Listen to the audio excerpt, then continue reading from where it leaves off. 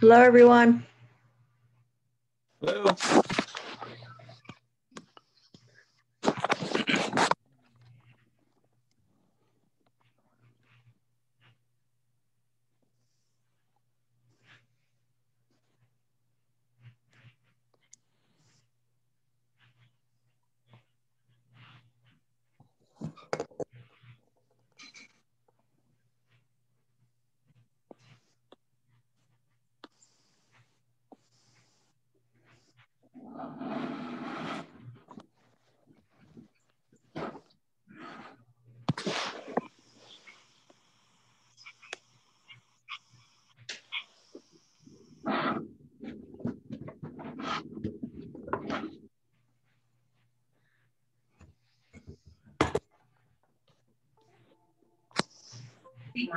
Sorry, go ahead. I mean, again. I see, uh, Carl- Carl Timbers,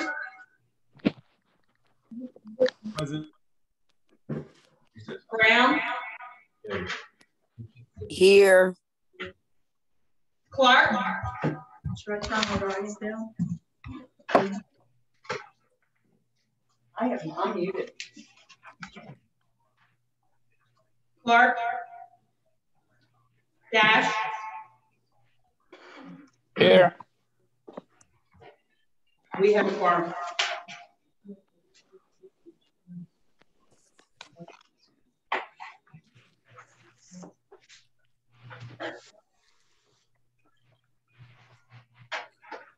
We're having some technical issues right now we're taking care of, then we'll proceed.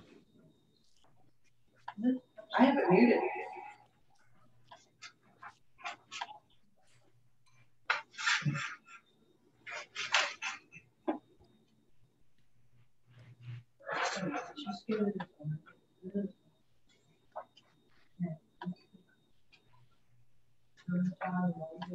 Alright. Okay. Good. Yes. Um, If everyone's okay with it, before we move on, um, Meg, at six forty-five, if you can give us a five-minute warning, I would like to conclude the workshop at six fifty, so we can get a ten-minute break before we move on. Got it. Um, as of now, I'd like to open up the budget workshop for the fiscal year. Jody, if you want. Um, so uh, I sent out a draft to everyone. Um, Can they hear you? can everyone hear me? I see. I can hear you. Yeah, I can hear you. Hear you.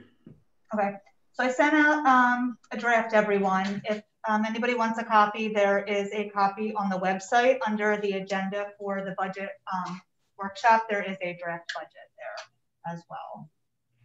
Um, so just to, um, I guess we can just, do you want to just go line by line through the draft? Yeah, as we've done in the past.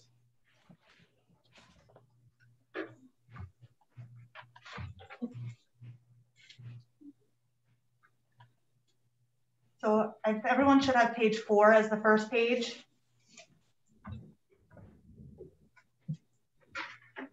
So the changes on there, I just, I left fund, we did generate enough surplus to keep it the same, so I left surplus the same. We've all, the last, I looked back through at least 2016, we've averaged about 200 to 230 on average per year, so I just left it um, the same as what we had last year.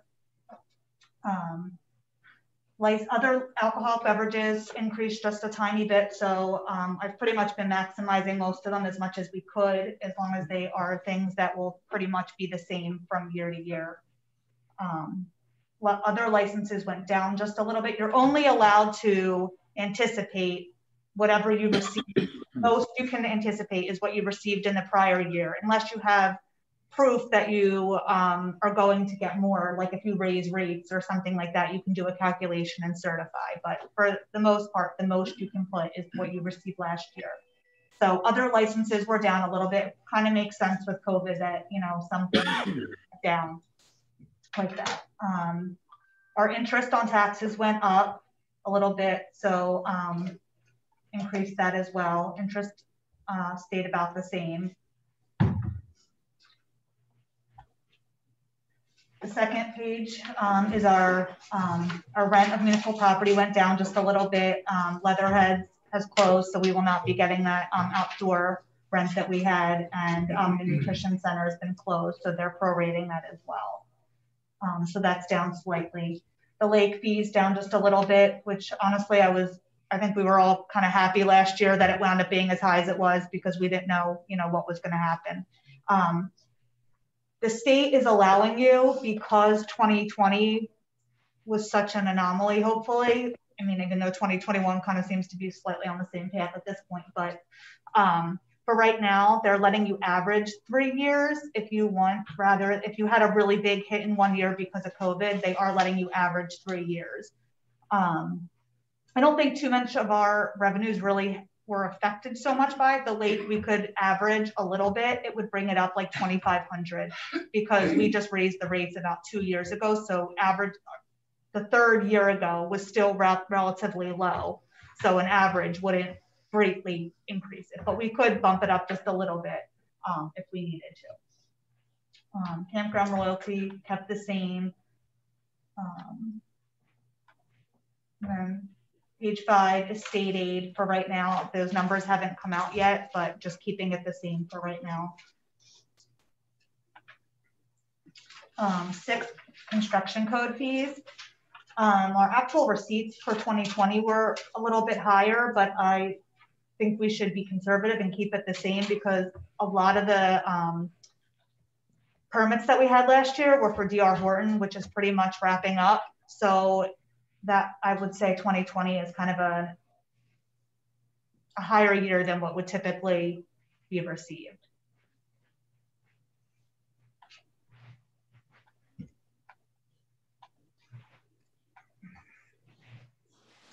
Um, for page nine, for right now, I just, the grants will be a wash. Any grant, there's an in and it's a revenue and appropriation. The only thing that would change would be if there's a local share. So over when we get to the appropriations, you'll see our local share um, for the NPP grant. Other than that, um, I just left the grants blank for our draft purposes so we don't have to keep worrying about changing numbers. Page 10, um, Uniform Fire Safety Act, that pretty much stayed the same. Rental inspections, pretty much the same. Uh, payment in lieu of taxes, pretty much the same. Cemetery contribution, vacant property registration. Um, we really probably shouldn't even have put that in the budget a few years ago. We just kind of started doing it because we needed to have more revenues, but we knew that that was something that wasn't gonna really be sustain sustainable. And it's kind of a good thing that these houses are not vacant, that, you know, the houses are selling and there are less vacant properties to be registered, Wait, so could you say that again? There's less vacant properties. How the house is being sold. Yeah, thank you. A little louder. Um, and then the conifer pilot pretty much is the same. Um, on page 10 at 10, I don't know why it says 10N, but it says sheet 10N. Um, sale of property last year, we had put in um, the land, the sale for um, 335 Boston and the wetlands deed restriction. The um, wetlands deed restriction unfortunately did not wind up happening, um, but there's nothing for this year anticipated. Um, the sale of property, we did have two land sales in January, so we could put 40,000 there. Again, I always caution with putting in these one shot things. Like we're kind of having a problem this year because we did it last year. Now we're kind of in the same boat. So, um, but we could potentially put in 40,000 under sale of property. Actually 38. It was not our after selling cost. It was two properties at 19 each. So, um, 38,000 that we could put in the budget. Um, sorry, there's more people trying to get in.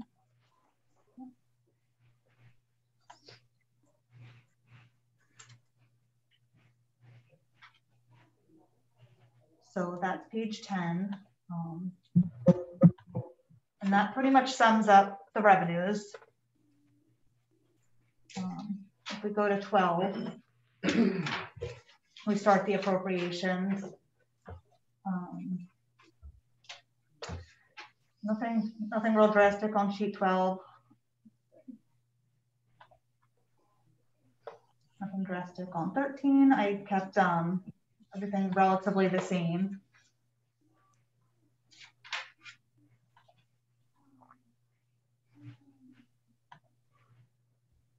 Um, really, everything from 12 through 15 is relatively the same. 15A, we have um, police salaries. Do you want to talk about them at all, or you want me to just kind of go through? Um, uh, it doesn't, matter, we have the same numbers, um, I have it, I have it printed out here. We have, um, But police salaries, we have an increase, it's like 85. A little bit of that is we had taken out um, just a little bit of crossing guards last year from COVID. Um, But then we also have, I think, one new hire in and then just step increases. So, um, and then you can see court, other expenses are pretty, pretty increased.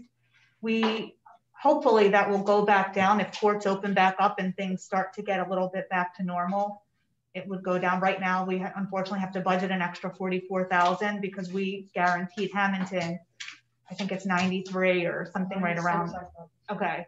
Somewhere right around ninety-five thousand is what we have to give to Hamilton, which was anticipated to be basically made up of like thirty-six thousand just normal budget and then sixty thousand from um, fines and costs. But because the courts have been closed, the revenue for last year really obviously had a major shortfall. So um, hopefully that's a one-time, you know, thing for 2021, and hopefully we will be back on track. But Hi, uh, this is Carl Timbers. I just, I'm just curious.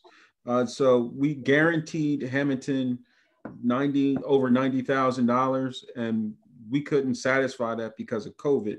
But because of the agreement, they still want their full ninety thousand. Is that the way it works? Uh, you don't want it. No. The, what it is, Carl, is the, the revenue that we collect is about sixty thousand dollars is credited towards the ninety-six thousand dollars. So if you don't make that revenue, you still have to pay them because it's part of the price. Do you understand that? I do. Um, my concern is that um, if we enter into more shared services agreements and they have these guaranteed payments and COVID is still with us or another, God forbid, something else comes, um, we get stuck with it. and is we there a had employees, we would have been still having the employees, so. Carl, our cost to run the court was about hundred and fifty thousand dollars a year, just, just as a piece of information there. So there's still, so maybe there's still a savings, even though we're giving up 90. Um,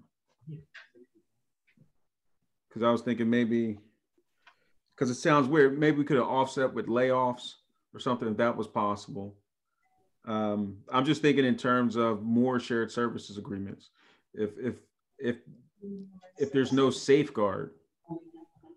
Carl, I don't think we have anybody to lay off, but, um, you know, I- issue, but I don't, we don't, we're on a bare bones staff here at City Hall. Yeah. As it is. I mean, it's a good thought, definitely, but nobody could really predict it. That's the thing, you know? Right, So we should be on target for next year to make it. right. Teresa. Um, Solid waste disposal, we had talked about this, uh, I don't know if we talked about this or not, but I've talked with other people because of COVID, that solid waste, the tipping fees have, have pretty much increased a good amount. We got back a little bit from our, um, the CARES Act money that we did get. We were able to get about eight thousand back towards our tipping fees, which was nice. Um, but obviously we don't know anything yet for 2021. Right now, there's not any additional funding and plus the rates are going up a little bit with ACUA because everyone's kind of, um, hit by different things. So anyway, an increase for that, um, that went up about 25,000.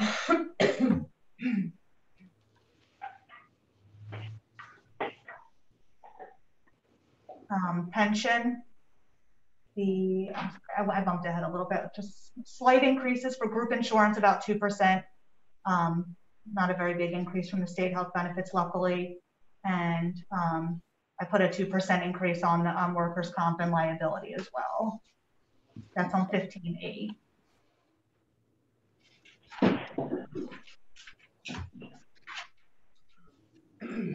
Um, most of the utilities on page 17, pretty much keeping the same.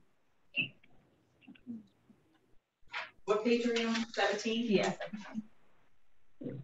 And then if you go to page 19, that's our statutory expenditure, social security and pension.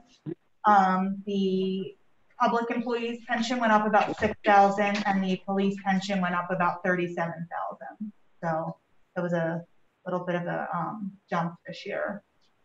And then you can see I, our unemployment compensation, we had increased last year about 10,000 because of COVID, knowing that people potentially um, be filing a lot more claims. So brought that back down to the 7,500 that we had been anticipating um, prior to that.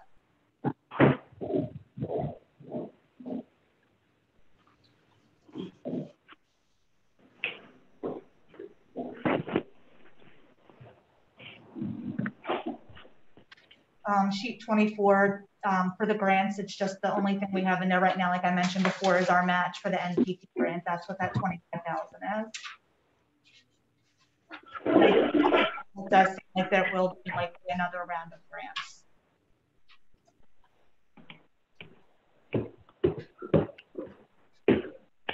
Um, 26, just kept capital improvement fund the same. That's money, if anyone's not aware of what that is, basically we set aside a small amount of money that we put over in our capital fund.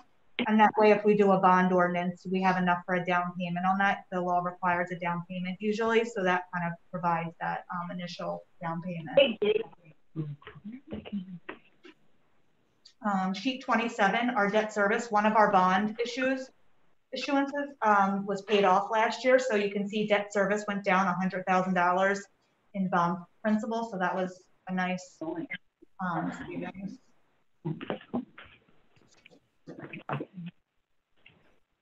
And then also on sheet 28, um, emergency authorizations. We had a couple of emergencies last year, like budget emergencies during the year where if you don't have something budgeted for then you have to raise that the next year. We didn't have any of those in 2020. If anyone can mute themselves, we, we keep getting like some feedback. So if you're I'm Just gonna say that I can't hear you, Jody.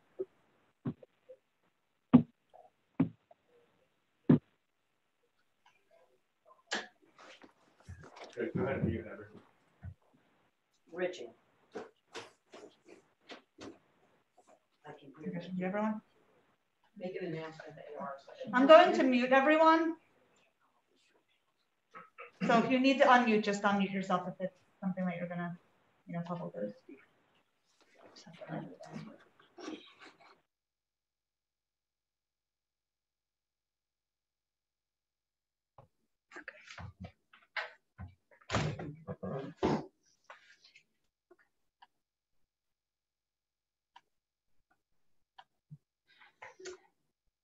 And then our reserve for uncollected taxes on sheet 29, that went up about 19,000. That is a formula set by the state um, based on your prior year tax collection. You can use a three-year average, which is what we typically do because that usually gives us a little bit higher um, percentage. Luckily, our tax rate did increase slightly. In 2019, it was 97.35. This year it was nine, or 2020 it was 97.4. But unfortunately, that still is it was much higher several years ago. So it's still been, unfortunately, kind of a lower average each year. Um, so um, the average is 97.51, I believe. So that made the reserve for uncollected taxes be 269, which on kind of on a side note, we had, I know there was some email circulating, we're gonna get ready to start a new round of foreclosures. Desperately needed. We basically transferred, I, when I analyzed the taxes, we transferred subsequent taxes. That means municipal liens that were already existing, not new ones, $200,000 of taxes. That's huge. And those are basically money that we're, there's a good chance we might never collect if we don't foreclose on those properties and get them back on a tax paying basis. So I think it's really good that we're gonna try to move on with a, another round. Um, so hopefully we can get that number lowered each year.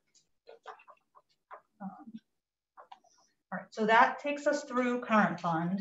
Um, just to kind of summarize, um, like the biggest changes really, I had sent this out, but the biggest changes, do you, want me to read through all the whole list that I sent out, I think? Okay. So Other licenses went down about five thousand, but interest on taxes went up about thirteen thousand. Um, we had that rent decrease of about four thousand. Again, that was Leatherheads and the senior center closing. Um, the lake decreased about eleven thousand, um, of which we could probably increase twenty-five hundred if we use an average. Um, vacant property decreased nineteen thousand. Um, and the sale of property and the wetlands deed restriction, that went down hundred and twenty thousand if we don't put anything else in there this year. Um, that's on the revenue side. And then on the appropriation side, the police salaries and wages, um, an eighty thousand increase, a court increase of forty-four thousand, um, solid waste increase of twenty-four thousand, group insurance increasing five thousand, workers' comp and liability um, insurance increasing six thousand, a pension increase of forty-three thousand, um, and debt service decreased a hundred thousand. So those are the biggest changes overall um, on the budget. So I don't know if anybody has any questions. I can go. We can also go over the utility budget, but I we probably could just go through current first. Does anybody have any questions, suggestions, The solid comments? waste increase, that, is that due to the rates increase or is that due just to people being home? Both. I think it's both. Yeah. There's less things being recycled now too. Yeah. mhm. Yeah, there were big changes in recycling. I mean, I see it myself. I mean, I'm a big recycler and I have so much more trash than I ever used to because I can't recycle half the stuff I used to. Will we not be able to hear if they have questions? Um, they can unmute themselves. Okay.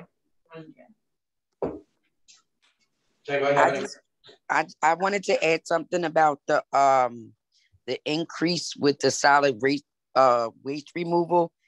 Um, Lisa, if I'm not mistaken, wasn't that the meeting that I attended at the ACUA? Was that what that was about? Yes, there's, they Okay, tell you what increases. I think it might have been more along the lines of the water. no, they had, they were saying about the solid waste going up because of the casinos being closed and Atlantic City is a large uh portion of that. So being that Atlantic City couldn't cover their portion like they normally do, it was split among the other towns to cover. So I think that's what the increase is about, if I'm correct. That, that makes sense. That's it. I just wanted that just because that's what I heard in the meeting that it was going up because Atlantic City um wasn't they they didn't have enough like they usually do. So the other municipalities had to kind of pull in and help them out basically. Yeah, and there was a change in something to do with their rates as well. Different types of waste ACUA has to collect, and they had to raise their rates as well based on their increased cost and obviously passing that through to the different municipalities.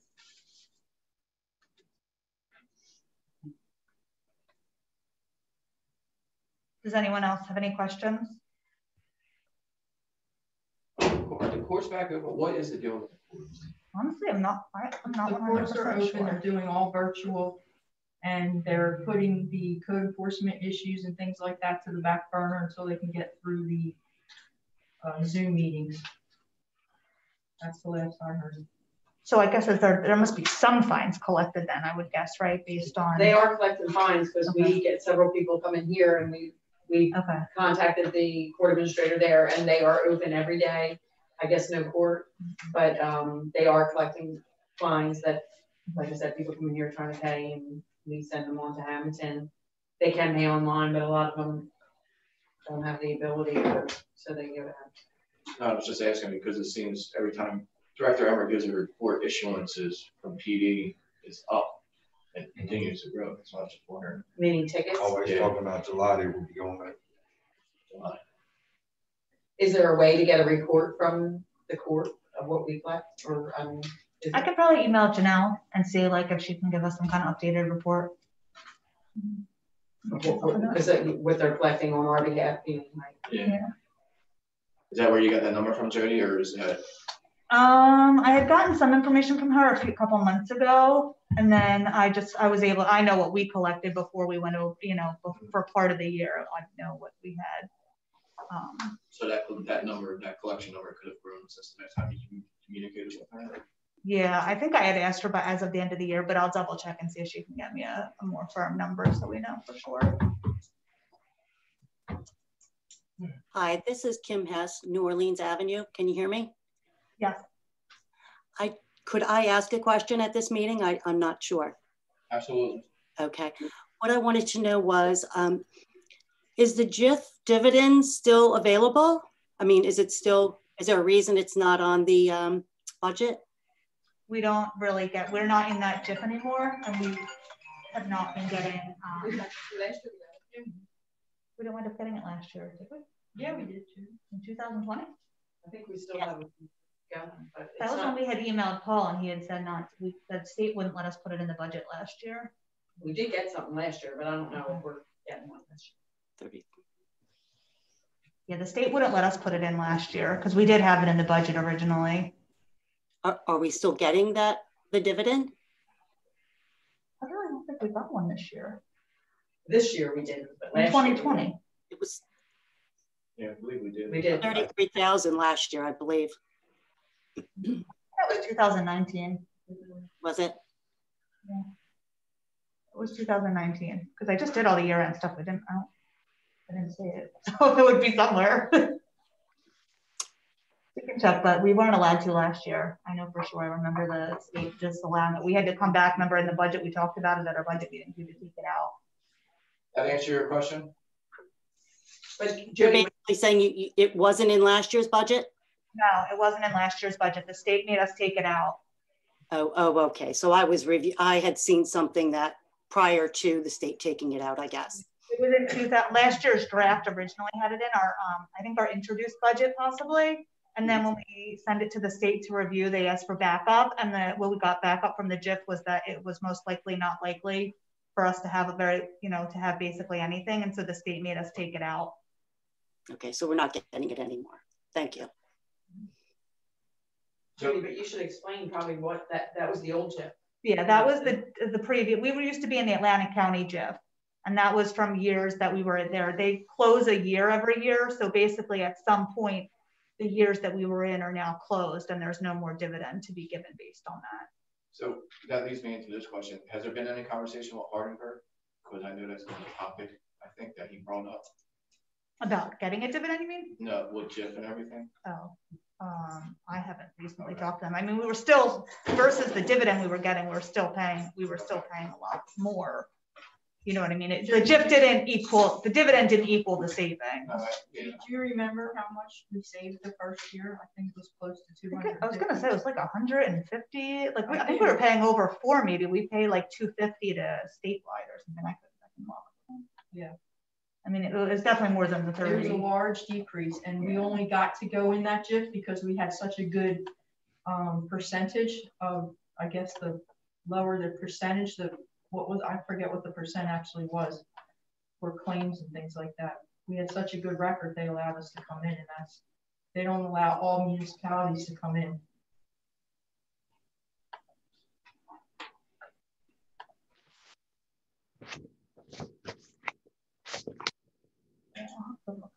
Anybody else with any questions or comments? What's the total budget shortfall?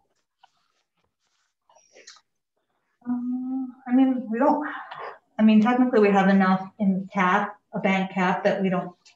It's a, it's a, there's a twelve point eight increase right now, so I know council doesn't want to do it, an increase that large. I think our cap bank would allow us to, so I don't think legally you have to change anything, but obviously that's, you know, I'm sure council wants to change something. Yeah, there's work to be done.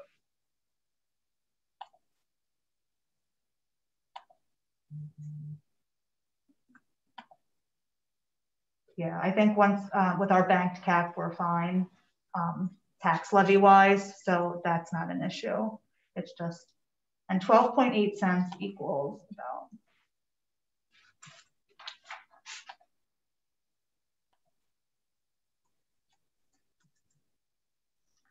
About like two hundred and forty-five thousand if you wanted, that's like to bring it to zero, obviously, so. Because every penny is about nineteen thousand for us. Our assessed valuation went down just a teeny tiny bit, unfortunately, so that didn't help either. Um, but for the most part, it's almost the same as what it was last year. So just something to keep in mind, 19,000's a penny. We're so, you know, it's a shape, we're like small, but like there's, you know, because we are so small, there's not, you know, too many, it's hard to make a lot of changes. So, you know. So, so right now the council's spending two hundred forty some thousand more than they're taking in, is that what you're saying? No, two hundred forty-five thousand more than last year we have to take in Right. to pay to do what we did this And it's a mix. That's why I did that like analysis. It's not like all like it's not like we just lost 250,000 of revenue and you know what I mean. There's there's changes on both sides. So it's kind of why I like to go through and kind of give you a summary of you know what changed. So All right. Any other uh, comments or questions out there? From the public, council? Uh, this is Councilman Dash. I just had a quick question. The, um, in, in the income part for the, for the campground, the three thousand dollars, is that what we get paid for use of the campground for the year? I think it was a little higher than that. it, it wound up being. I mean, we could bump that up. I can look. and it was last year. I just They, I, they I had a like really good year last year, Steve, because of COVID because of. COVID, so it could be that, um, just to be prudent, not to budget that much for next year. But So, so do, so is it, wor- is it set up where we get a percentage or is it a flat rate we charge? Ten percent. Okay, thank you. And it was the actual receipts last year were fifty-nine hundred. The year before that was four thousand. And the year before that was forty-five hundred. you could bump that up. So we could bump that up to like four thousand. I just don't, I, I'm always like of the mindset to be a little conservative so we can generate some surplus and we don't, if it, if there's a bad year for some reason, it's not, I mean, that's not a drastic big one to change. So, I mean, it's no big deal to change that to four thousand. Got it, thank you.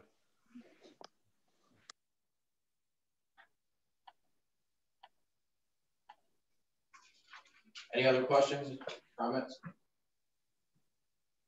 Hey Jody, it's Keith. I have a quick question for you. Um, I was talking to a couple people uh, directly, like uh, Chuck from Mullica Township, and then um, as also Asplundh Tree Service about what they do with their chippings and also their leaves. Are I thought that we take everything to the ACUA because of our stormwater tracking that we do, um, so we have a disposal record of it. Are we allowed to? Um, if we find and enter into an agreement to get rid of our leaf waste and our chip waste, are we allowed to take that somewhere else? We could check with, I mean, Brian might know environmentally, but I don't see why not.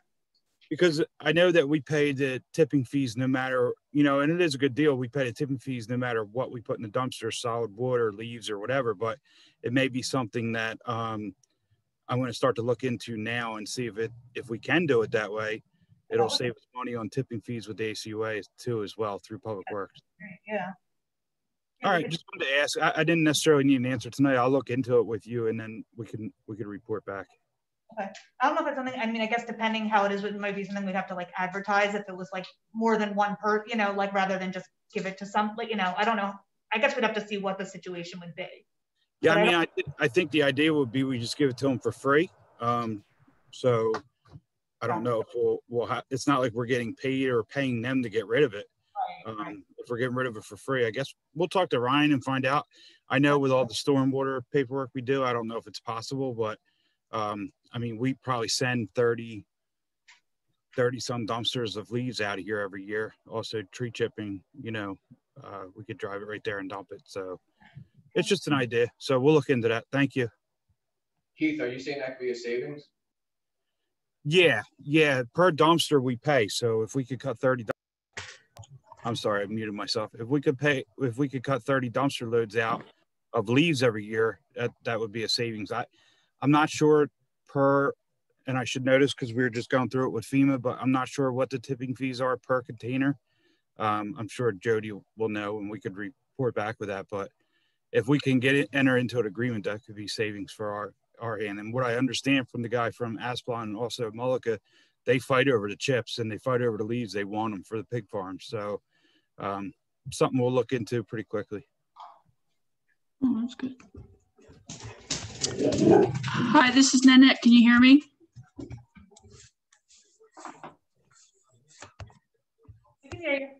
Oh, good. Uh, I had a question about the rent decreases for Leatherheads and the senior center.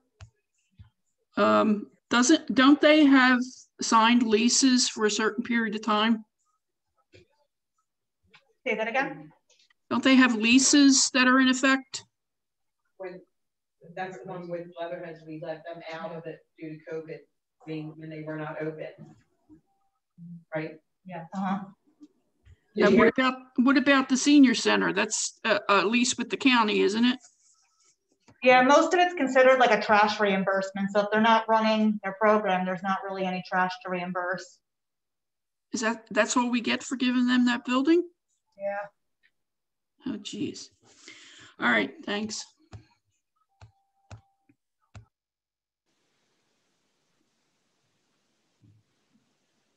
Anybody else with any questions or comments?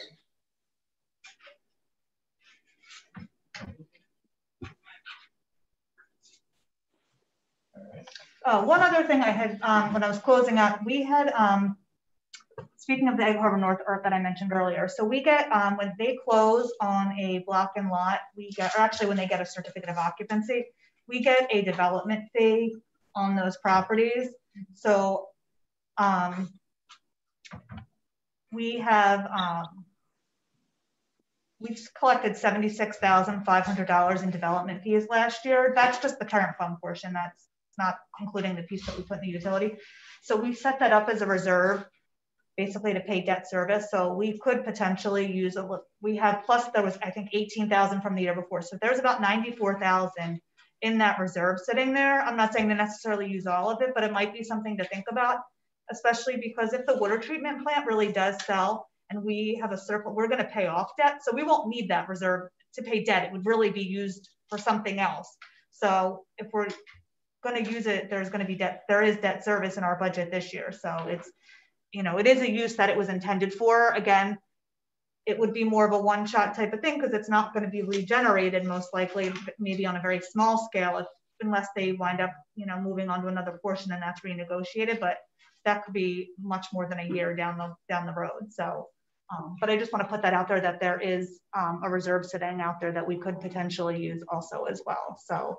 Um, I don't like to use too many one-shot things, but I know, you know, I know people don't want to have a huge increase, and that is something that was set aside for debt service. So it could be used to offset our debt service this year.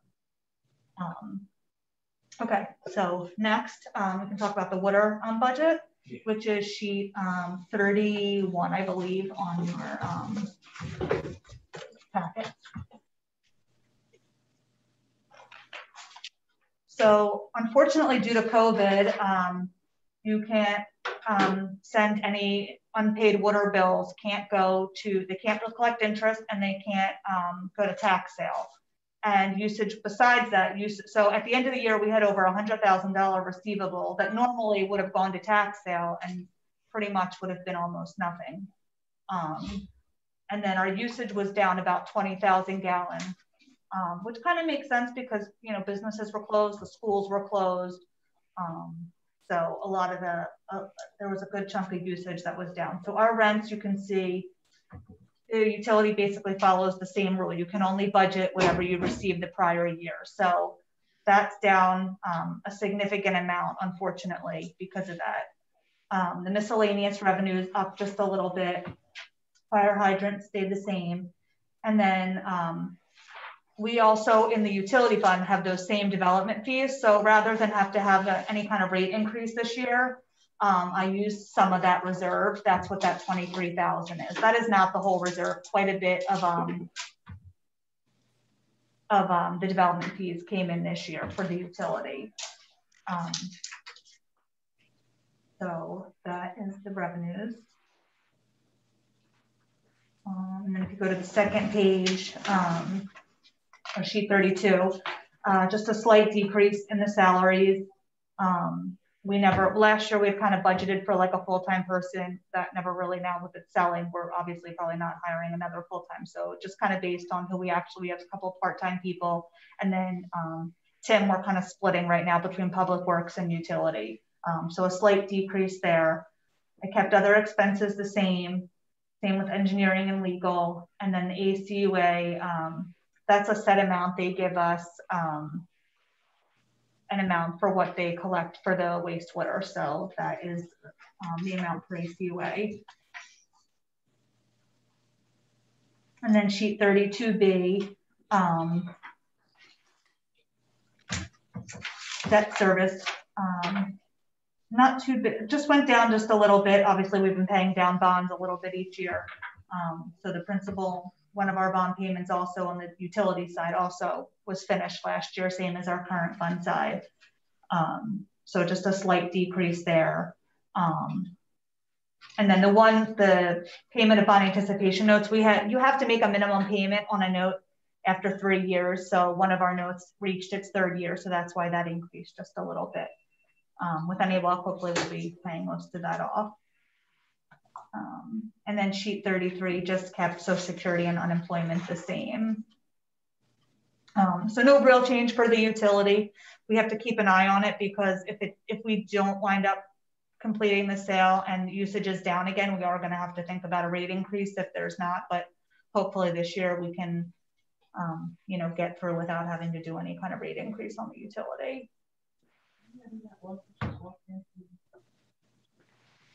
Six forty-five. Like, you want to check and see that? Yeah, I think, I think, Jody, you unlocked the door, didn't you? Hmm, sorry, I shouldn't have done that. All right, anything else, Jody? Nope, that's it. Well, you went to the left time. All right, um, again, anybody in the public or any other council will have any comments or questions, we're gonna conclude the workshop in about four minutes, so we can have a ten minute break before, uh, common council meeting.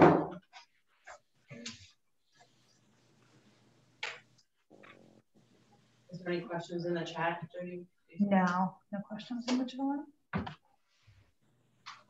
Uh, Kim, Kim Hess again from New Orleans Avenue. I do have one question regarding the, um, when, when um, the American ends up taking over, if and when they do, will this change significantly for us at this, at that point?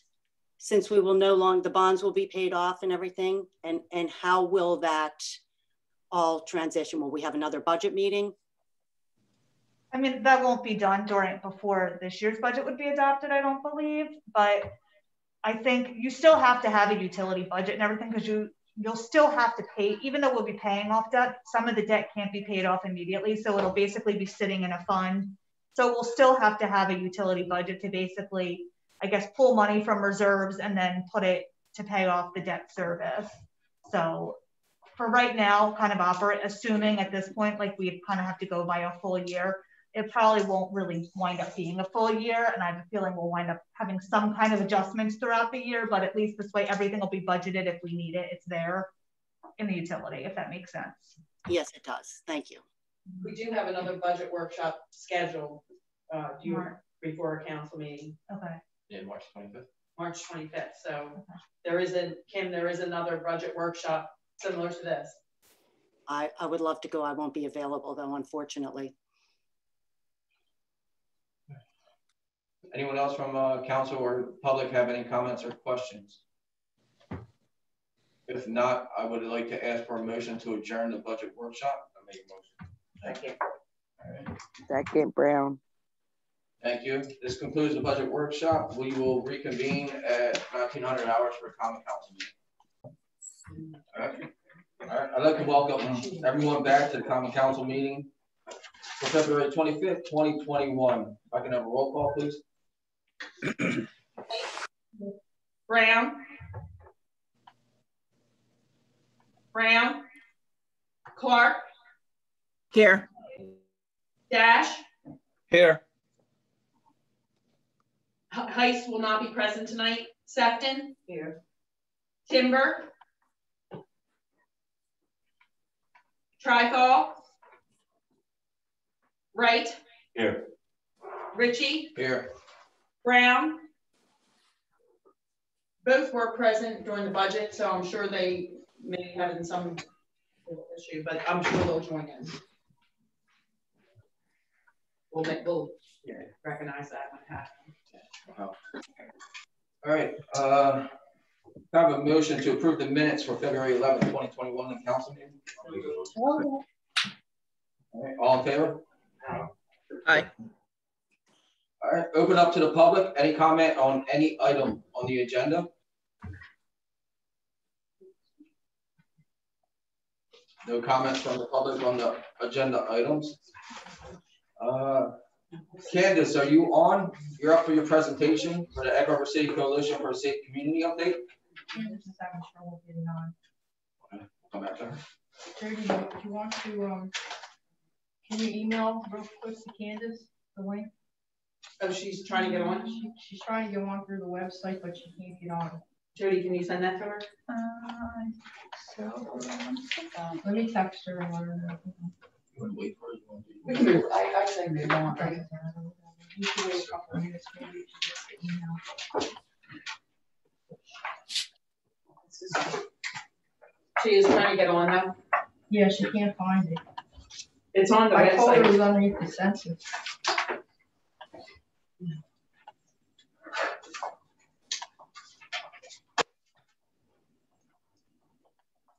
I'll email it to her.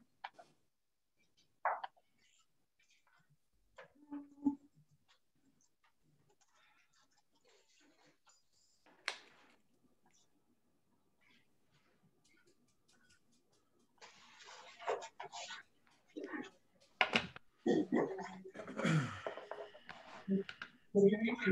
just sent it, yeah. So tell her to check and see if she got it. I Just refresh that email. Good evening. Carl, here, Ma- uh, Meg. Carl? Natia, are you here?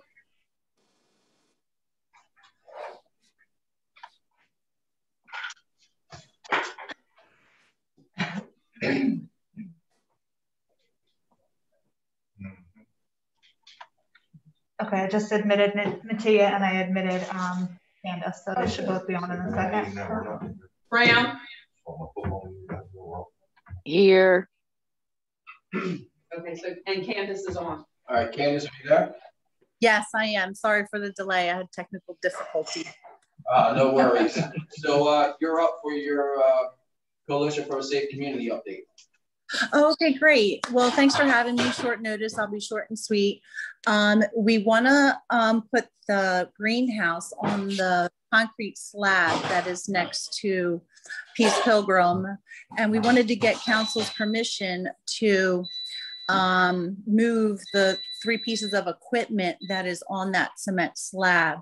Um, there's a red, long, um, I guess it's a storage container, uh, a big truck, and a trailer. Um, so it's, we wanted just to get your permission and we would pick up the cost, the coalition, uh, for any, you know, if we had to uh, rent um, one of those trucks to move uh, it just over off of the cement slab so we can make uh, an area where people can come and sit and it will be inviting uh, before they go into the greenhouse. And the greenhouse will be in the back right hand corner of that cement slab. Um, so we want to like, you know, make the front area nice for people to come in. So that's that's what I wanted to ask council tonight, um, if we were able to move those items.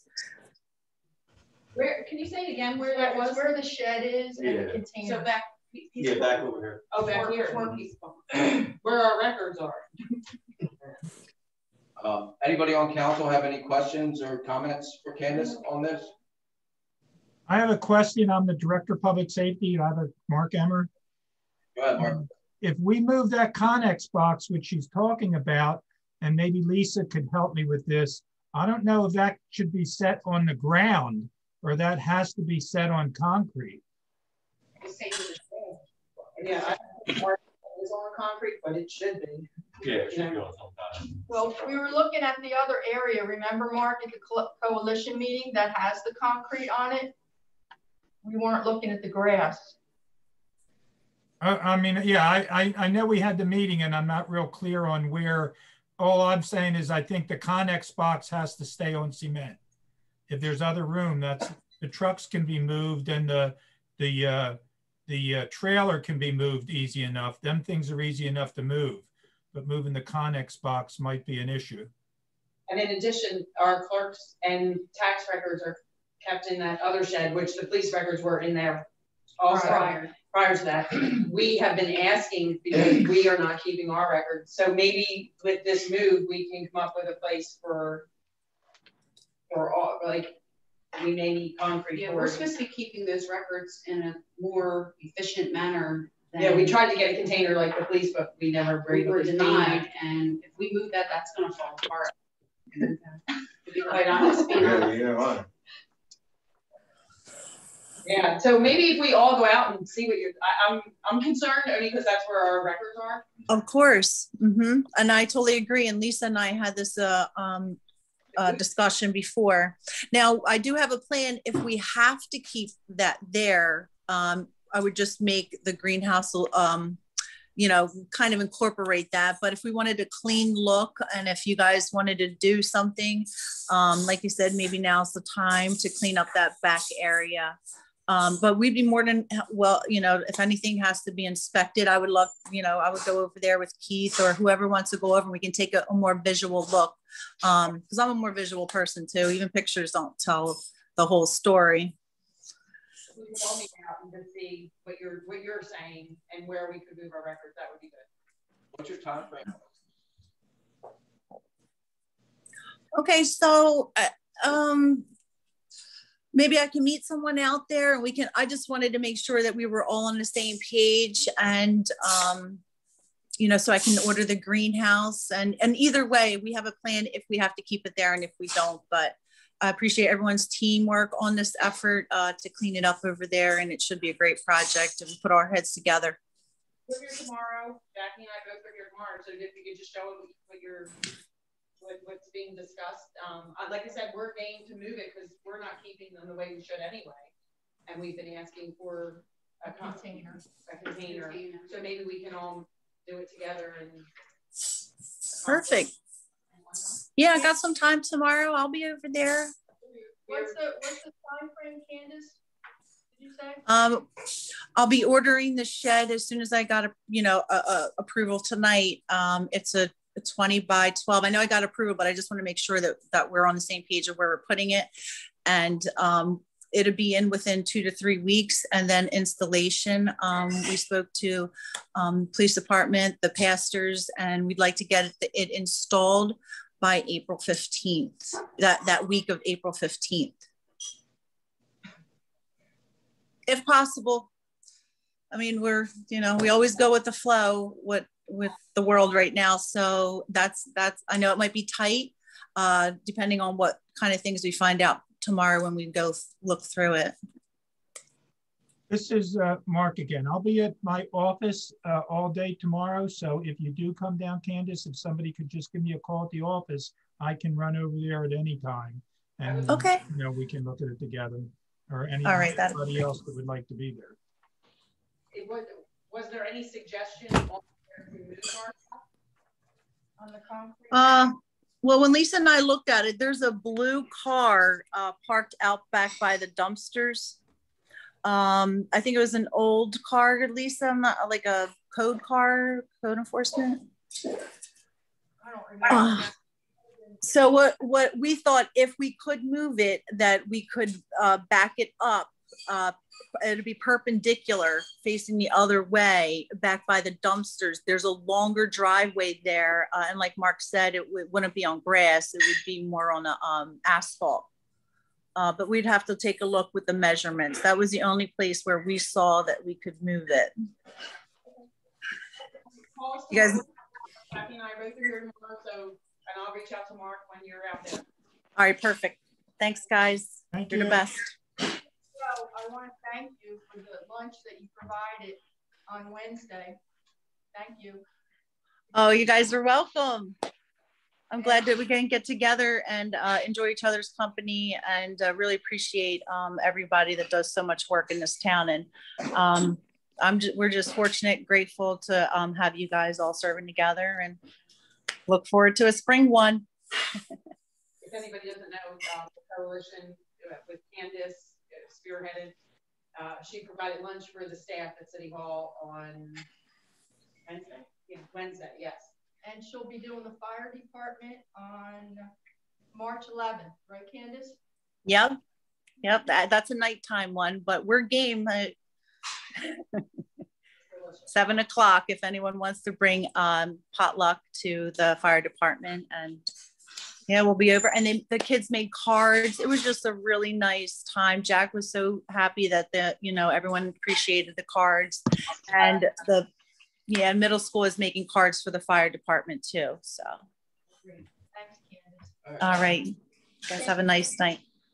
Like a resolution, does she need anything as far as resolution, or are we gonna wait till? I, I would say pending. Pending, we, we like, we have an agreement to put it out there, but just, we're gonna, So anyone on council in disagreement with this? If not, um, can I have all in favor of this plan with the greenhouse? Aye. Aye. Aye. Aye. All right, Thank you, Candace. Thank you, thank you Candace. everyone keep up the good work You as well. Mayor, you're up.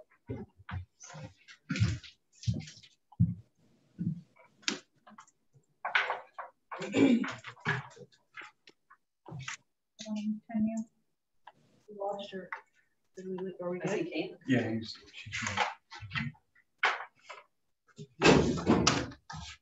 What I, what I am about to say is a written response to the false information being circulated by cowardly individuals in effort to once again demonize and discredit me as the mayor. They are using misinformation and lies to scare the public. To be clear, I am not spearheading an incentive to disband the police department. The subject at hand emerged from a manpower study requested by a senior officer in the police department. And I was very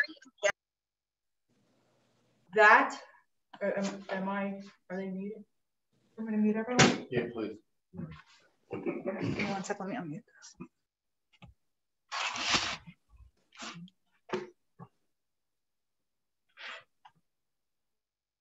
You're fine. I can hear, Lise. The manpower study included a shared service component authorized unanimously by city council. This is public record on the February 13th meeting, and anyone can access that on the website.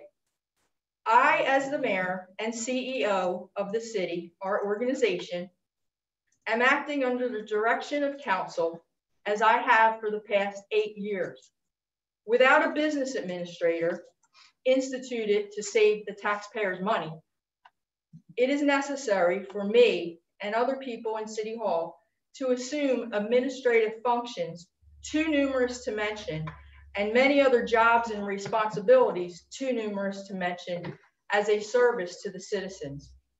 I do this with no added compensation to my yearly stipend as mayor, which is $3,200.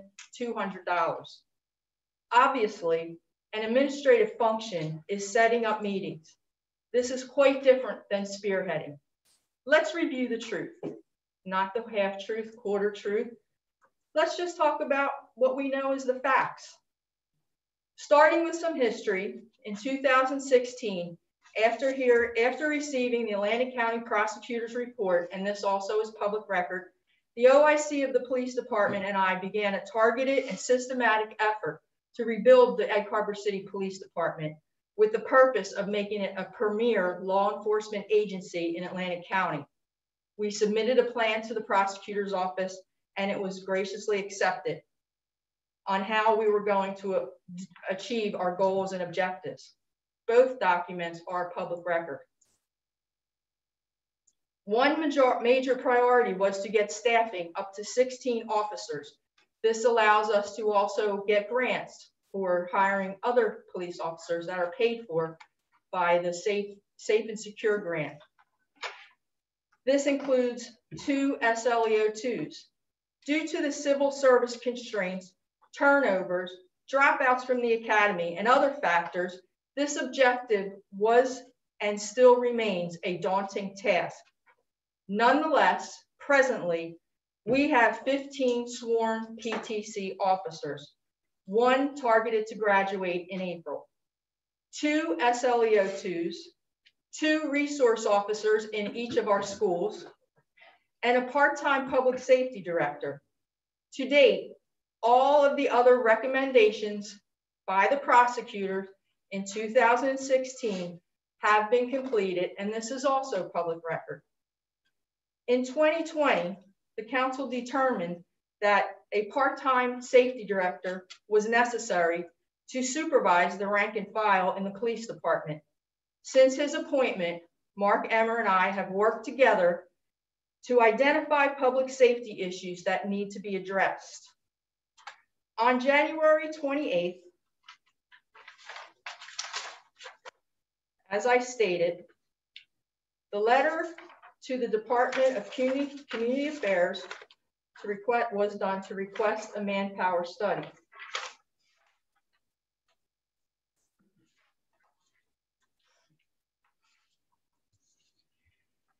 In the letter, that is also public record, the officer maintained that the 2006 in 2016, the prosecutor's office was unable to accurately conduct a manpower study and staffing levels remain problematic, to quote. According to the officer, at the time of the letter, the staffing was 12 PTC officers, one full-time SLEO2 officer, two SLEO2 officers that were in the academy at that time, and one civilian administrative assistant.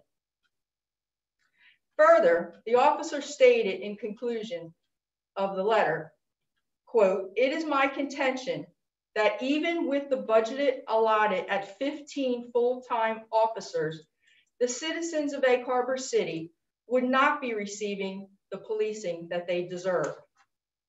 As an aside, as we've just heard, the projected salary increase for the department for 2021 is $80,257.29.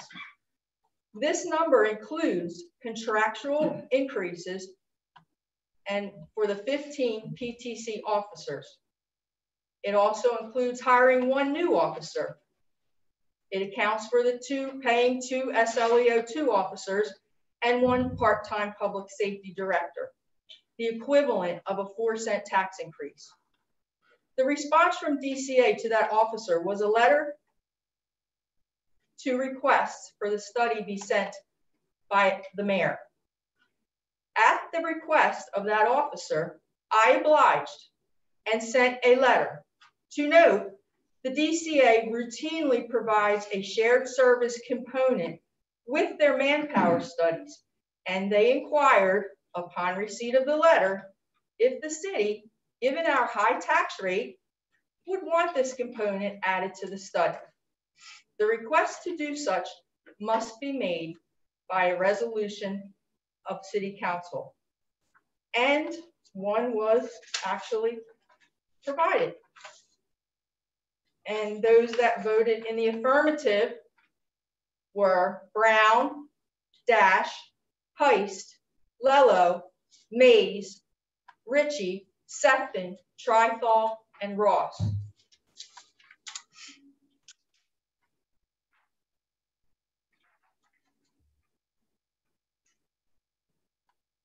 That resolution authorized me as the mayor to take all necessary, and I'm quoting, take all necessary actions to allow for and support the city of Egg Harbor's participation in this assessment. I did so as directed by the resolution from City Council.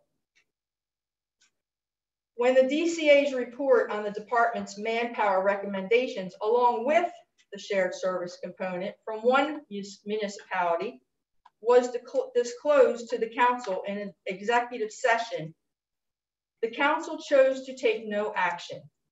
As such, the meeting is not public record at this time and not subject to OPRA request.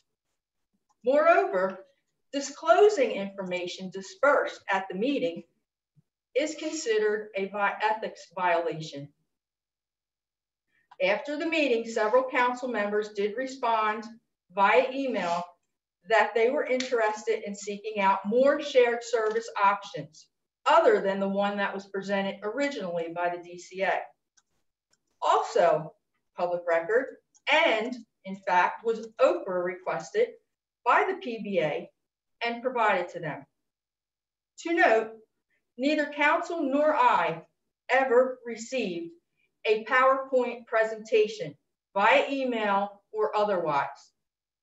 Only a financial component of the presentation created by our accountant, and this is also public record, was circulated.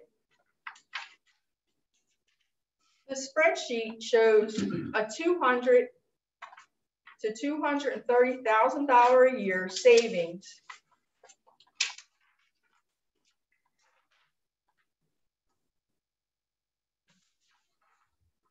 from years 2022 to 2024, or approximately a 10 to 11 cent tax decrease if it were to be done.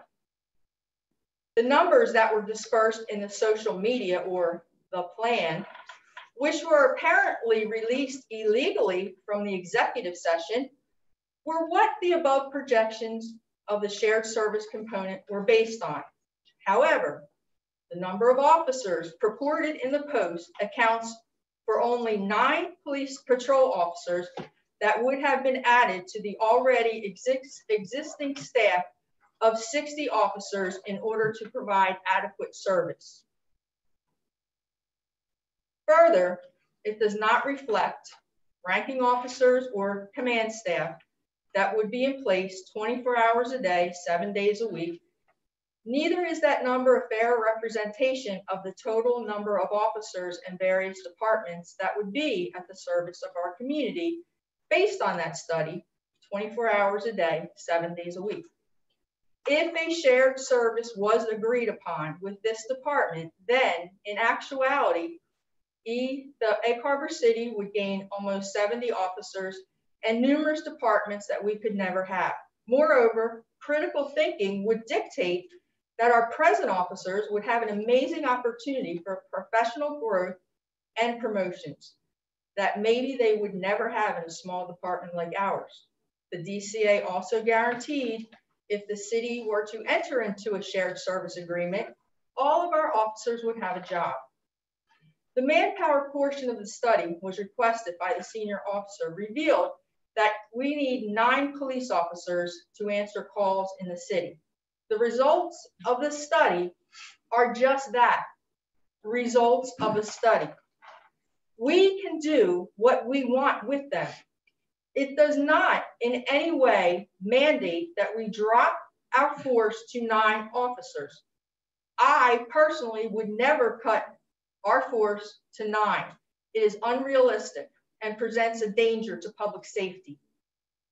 Again, with the intent to comply with the council's request, the public safety and I attended a meeting set up by the DCA with Galloway Township, Ham Hamilton, and Mullica representatives to present the possibility and feasibility of sharing services with those neighboring communities as requested by city council. There were three chiefs of police, one township administrator, one other mayor besides myself, and our public safety director in attendance with two DCA presenters. Again, this was an administrative function that I took on on behalf of the resolution from city council. At that meeting, Mullica Township's mayor expressed an enthusiastic interest in investigating shared services with the city. As such, I set up a meeting with her, her chief, her CFO, Scott Trithall, Joe Ritchie, the pub and the public safety director, Mark Emmer, and of course me, to further explore that option. The meeting was last night. And again, this was set up by me as an administrative function in compliance with the resolution. Going forward, when all the other options are investigated and considered by the council, the public will be advised of those options in an open public meeting, and they will be encouraged to give their input. There are no lies, there is no deception. Council then will make an educated decision about sharing services. As the mayor, public safety is and always has been my priority. If city council decides not to enter into a shared service agreement, you can be sure that I will strive to adequately staff the police department with the goal of obtaining 16 officers, as was my plan from the beginning, and to give the officers the tools they need to do their job, as I have always done over the past eight years. Contrary to the slanderous accusations that were leveled against me in the last election, I have never cut the police budget, nor have I sought to defund the police department. And no money ever disappeared out of the budget. Jody, would you agree to that? Do you recall any money disappearing out of the budget? No. Thank you. In fact, I increased spending by allocating appropriations properly where they were needed. Never were the police ever denied a request for anything. Further, any money left in the yearly budget that was appropriated by the council went to buy equipment, cars, software, programs, and to make improvements in the station. I have always supported the police department, and anyone who denies this or suggests otherwise is an outright liar. This new hate site started by revenge-seeking cowards in the latest attempt to, once again, degrade me and make the public think that I am a cop hater. Progress made from where we were in 2012 and where we are now is outstanding and quantifiable and verifiable. Progress thus far includes all 26 mandated ACOP, that's Atlantic County Prosecutor's Office, to improve police op operations were completed. The rules and the regulations and the manual and SOPs were all pre all updated, included a bulletproof vest wear policy, random drug testing in the police department, critical incident policy, and active shooter policy. Drills are now held at three schools. Performance evaluations were implemented each year with a, a professional development component, meaning our officers receive the training that they need to do their jobs, which they never had before, did before. An employee recognition program was started. We established a new officer training requirements, mandated an FTO program for new police officers, certified EHC officers to complete yearly trainings and recertify their fellow officers, established a yearly training schedule, trained in armor for the station, updated the weapons inventory, revived two SLEO2 positions, added two school resource officers, increased the staff and rank to fit now 15 full-time employees. One is in the um, academy, two part-time SLEO2s, two class three officers, one at each of the schools, promoted four sergeants, one lieutenant, and a de detective now that we have, one administrative assistant, which in 2017 and 2019, and a part-time public safety director in 2020. Updated the department, break room, sergeant's office, bulletproof glass in the entrance, secure entry to the PD, upgraded jail and evidence room, detective, well, I don't know about that. It was a detective office, public safety director's office, Uh, and we also updated the fleet and computer system, decaled three Chargers, purchased three new SUVs, one used Crown Vic, painted and decaled the Crown Vic and Durangos, updated the computers and vehicles and station, added software and programs like Guardian Tracking, Aladtec, Pro Phoenix, purchased AEDs for the vehicles, established and equipped a bike patrol unit, purchased body cameras with grant funding, installed cameras that officers can access from their cell phones on Philadelphia Avenue, increased accountability and communication with the PD among council. In addition to stats, the following reports are regularly generated to City Council. Overtime justification, overtime dollars used per pay, event costs report, weekly crime report, cash flow analysis that, to stay on budget. A representative from the PD is required to report out to City Council at all public meetings. The coalition, we, we started the Coalition for a Safe Community in Harbor City to help the officers. establish Neighborhood Watch, brought the Atlantic County Sheriff's Office for additional patrols. That happened in 2016, along with now in 2020. Brought the Hope One program to the city. As taxpayers, you know that the cost to operate, maintain, and upgrade not only a police department, but additionally three schools and city service services are significant for a small town like ours. Without shared service options, it is inevitable that taxes will increase each year. Shared services are an option. As another option could be developing a strategic initiative for targeted growth and redevelopment in designated areas permitted by Pinelands, the Pinelands Commission, but that option will come at a cost that many leaders are not willing to pay. The budget forecast for 2021, without adding any unrenewable revenue or cutting services, stands at approximately 12 cents, Jody, did we say? 13 cents almost, per $100 of assessed value. The increase is mainly due to the same culprits, loss or decrease of revenues, contractual increases, increase in the cost of benefits and pension contributions, and increased cost of services. In fact, we just discussed that our solid waste removal is $25,000 more than it was last year. That's over one penny to the tax rate. They are not due to increased and frivolous spending as former council leadership majority was erroneously accused of. Taxes continue to rise under the new majority also. As a council and as a community, we need to explore better and more efficient ways to deliver services and keep taxes stable.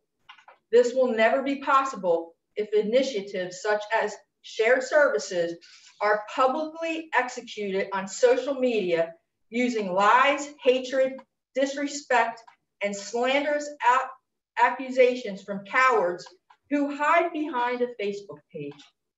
This shared study was just that, a study. Council votes on what the, the police department looks like, not me. They can take it or they can leave it. In closing, I would like to invite those individuals named or not who continuously perpetrate hate speech and lies against me, the city, and its officials on various social media platforms to instead put their time and effort into doing more productive and positive things that will attract businesses and people to our great city. It is incredibly sad that those individuals are so unhappy and so miserable that they must just consistently tear others down to get satisfaction in life. Why not just become a part of a proactive solution to our problems? Finally, I would caution the unnamed coward and creator of the latest hater page to reconsider using the Holy Scriptures erroneously to deceive the public. That, in my opinion, is despicable.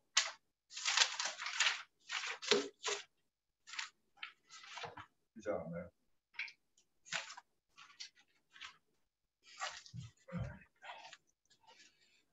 Is that everything?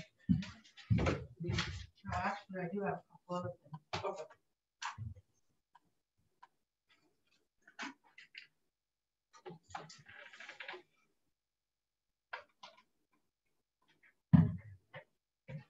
I just wanted to bring to everyone's attention, and let, I don't know if this uh, public safety director was going to. We did receive the drunk driving enforcement fund grant for $7,440. I believe that the lieutenant applied for that grant, so thank you. We also have interest in the St. Nick's property. Um, Brian, I'm sure you're gonna talk about that in your report? Uh, yeah, I can. Go ahead. What's that? Okay, so Ryan will talk a little bit more about that in his report. Um, and just again, I thank the coalition for the delicious lunch and they will be having another meeting on March 15th. Also, um, I ran into Pastor Bruce from the um, Rotary Club on Wednesday, and he wanted to um, get council's approval. Uh, he's been working with Donna to buy equipment for the Rotary Park in memory of John Sen. And he has decided, they together decided on two swing sets. One is for handicapped children and one is for others of different ages. And he wanted council's approval to purchase that equipment so he can start fundraising. Which is a motion. Motion, all right, can I have a motion? I'll make a uh, motion. All right, second, I second. Yeah, second. all in favor? Aye. Aye. Aye. Aye. And that's all I have. Thank you. Thank you, Mayor. Uh, council committee chair reports. Um, I'll start with finance. So the Teamsters have submitted to open contract negotiations. First meeting will happen within a week or two. Uh, a labor attorney will be the point of contact through those negotiations. Um, Councilman Trithol did not communicate if there was anything for safety, so we'll pass over that. Uh, Councilwoman Heist, uh, for highway and property, uh, nothing there. Utility, uh, Councilman Wright. No. All right. Code, Councilman Dash. Uh, we'll be setting up a, a code enforcement meeting um, on March 10th at 7 p.m. I'll send out an email and then I'll also get the dates for the rest of the meetings for the rest of the year. All right, thank you, sir. Uh, again, Councilman Trithol, licenses and ordinances. Uh, I know he's been in conversation about setting up a meeting for that, so. uh, eventually. Uh, Land Use Board, Councilman Timbers. Chair, Okay. can you hear me? Yes, anything to report on land use? Uh, n- nothing to report at this time. Uh, I, I will have something at the next meeting. All right, thank you. Just so you know, you are a little muffled. Um, you talk. Uh, School Board, Councilwoman, Councilwoman Brown? Yes, I have a, I have a question about that. So I haven't received any links for any school board meetings in months. Have you received- And when I tried to address it at the reorg meeting, um, I was basically shut down, which I didn't really appreciate because it only takes a couple seconds to send a link. And I still I I haven't been able to attend a school board meeting since the beginning of the year. Okay, So that's a problem. so, I have not received that. yeah, so Meg says she hasn't received any notice of any meetings, and I know they usually come from her. Um, I don't know if we can make communication with the school board. I'll reach out. All right, Meg's gonna reach out. Uh, Councilwoman Brown on that? Okay, thank you. Welcome. Uh, anything for Jeff? No, nothing. And Councilman Timbers, Aaron Hafen? Uh, nothing to report on the, on the, uh, Aaron Hayton meeting. Thank you, sir. Uh, Director Emmer, your public safety report, please. Yes, sir. I do not have a statistical report uh, for pay period number four. I was given it by uh, Lieutenant Hutton, and I seem to have misplaced the paperwork on that. So I'll be able to bring you up to speed on that at the next meeting. However, what I would like to read to council is the police department received a letter from uh, Joellen Arndt, whose uh, husband, Bob Arndt, a retired New Jersey state trooper, passed away on February 2nd, 2021 at their home on 435 Washington Avenue. Mrs. Arndt sent the following letter. Dear Officer Carpo, just wanted to tell you how much I admired your behavior on the night of my husband's death on February 2nd, 2021. You stayed until his body was transported to Wimberg.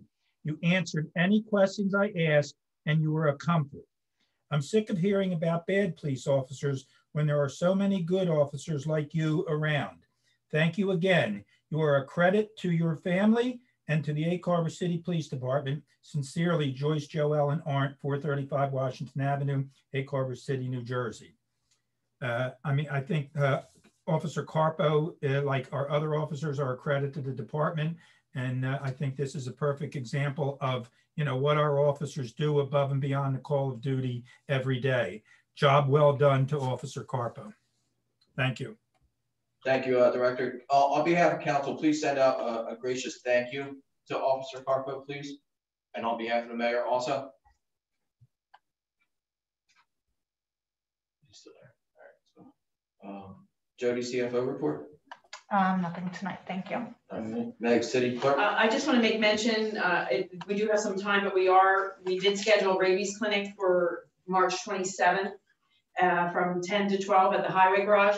We will be doing things a little different. We're still working out the details, but due to social distancing and um, the COVID-19, will we always did handle it a little, like we tried to keep any, the dogs apart anyway, or animals, you know, they can get a little crazy, but um, we're trying to put in some more and we're working out the details, but it is at the highway garage. We're working closely with Keith and the staff that he will have out there helping us that day but I just want everybody to mark it. We do, we are going to have the rabies clinic. Um, I do think that's why some of our numbers were down last year for licensing because we did not have the rabies clinic and we typically do get some, that encourages people to come out, get the shot, register the dog or uh, they just know we're out there so they come out. So um, like I said, we will be putting advertisements out there and we usually start in the beginning of March and, and put signs around town, but the, it will be March 27th 10 to 12 at the highway garage.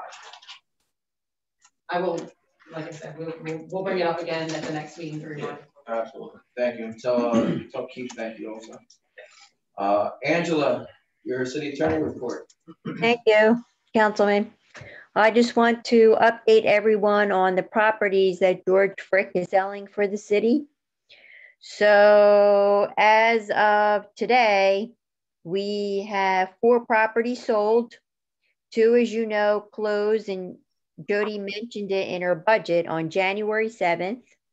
They each sold for 20,000. We collected something in the area of 38 or 39,000 for both. That was 401, 407 Boston and 449 Cincinnati. On December 17th, we closed on 2101, 2103 Philadelphia for 21,000. And then 1441 St. Louis will close, I believe, sometime next week or the week after. And that was for 15,000. We're still working on a price and sale for uh, 450 Philadelphia Avenue.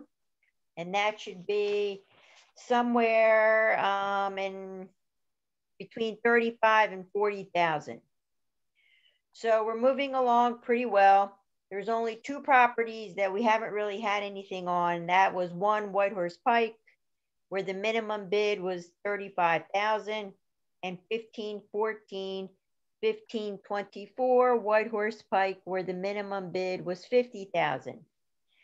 I asked George to follow up with me on those two properties, but we're making good progress on all of the seven properties, which should bring in some decent money for the city and perhaps um, be put in the budget. Finally, on March 11th, I want to remind the mayor and the council that there will be a public hearing on the ordinance for the municipal consent for the water plant and also the resolution um, on the water plant. And that's all I have. Thank you very much. Thank you. Uh, Ryan, your engineer's report. Sure. Uh, first with the agenda item, um, we have one here authorization to submit uh, what's commonly referred to as a discretionary aid application That is for resurfacing um, Chicago Avenue, the three and 400 blocks. Everyone remembers the road started to fall apart right as the contractor went to pave it. So we had to cut it back open and stabilize a bunch of areas. Um, it's had some time to sit, seems to be holding up pretty well. Uh, so at this point, we intend to go back in and, and profile, mill, and overlay. Uh, we've had discussions with DOT about how to fund that. Um, so this program allows you to ask for additional money. Um, they encourage us to apply and, hopefully they can fund it this way. Um, if not, they're going to look back to the municipal aid program and, and maybe borrow from future year or find, find another way to fund it. Um, but either way, the, the, city won't have to fund it out of the budget. Um, the solar developer, we've been sort of exchanging back and forth. We got their proposal to do a remote net metering site, and it covered less than half of the parking lot uh, out at the transit hub area. So I reached back out. Um, uh, Ms. Ms. Galloway brought up at the previous meeting about you know doing a community solar at that site.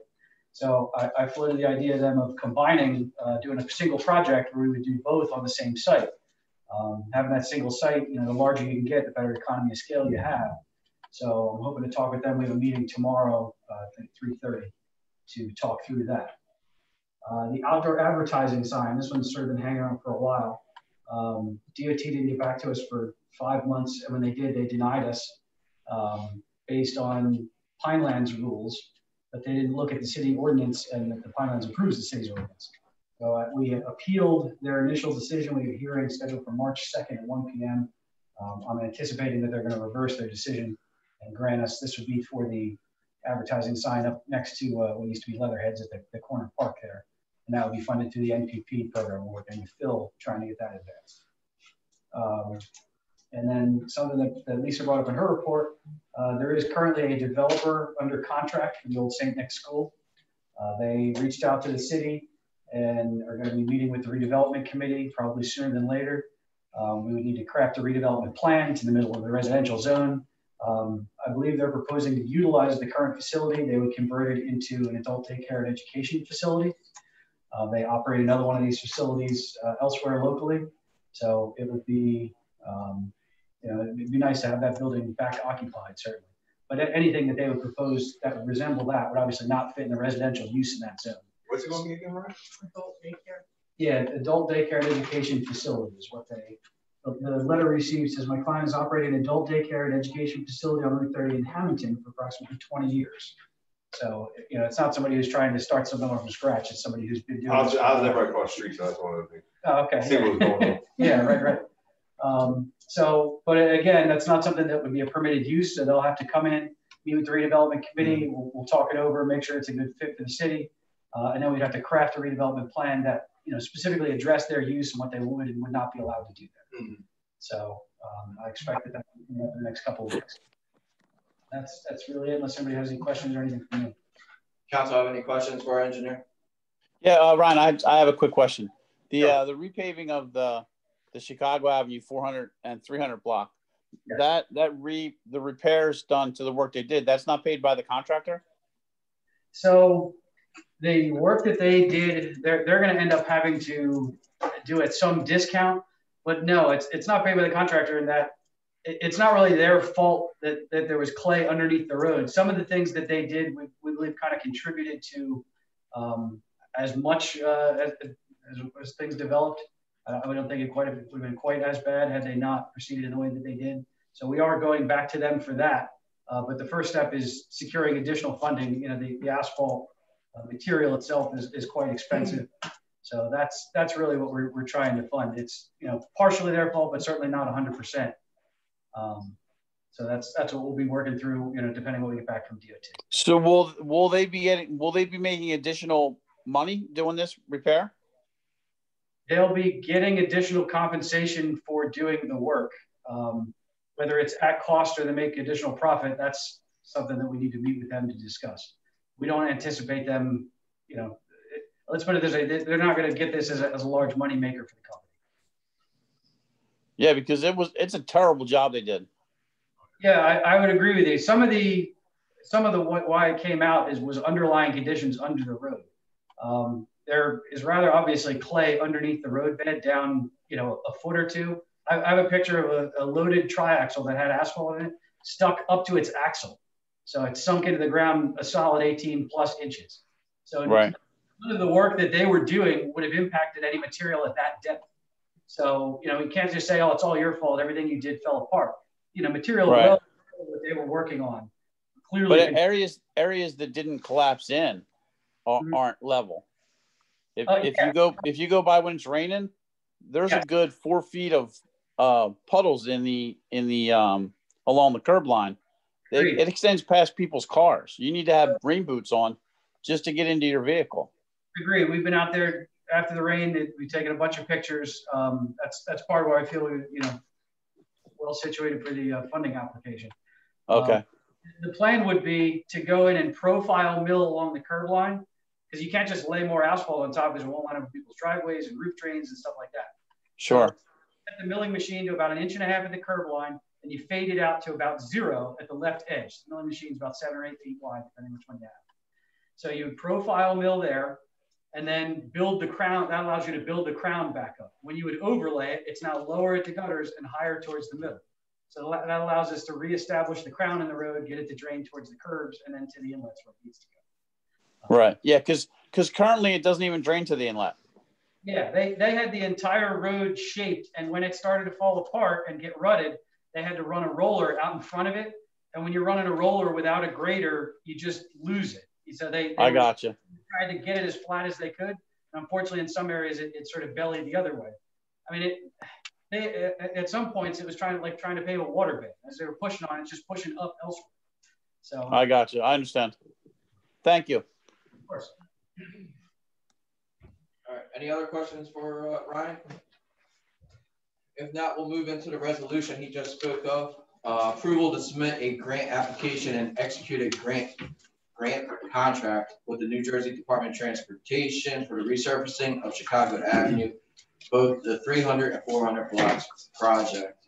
If there's no questions or comments or concerns, may I have a motion?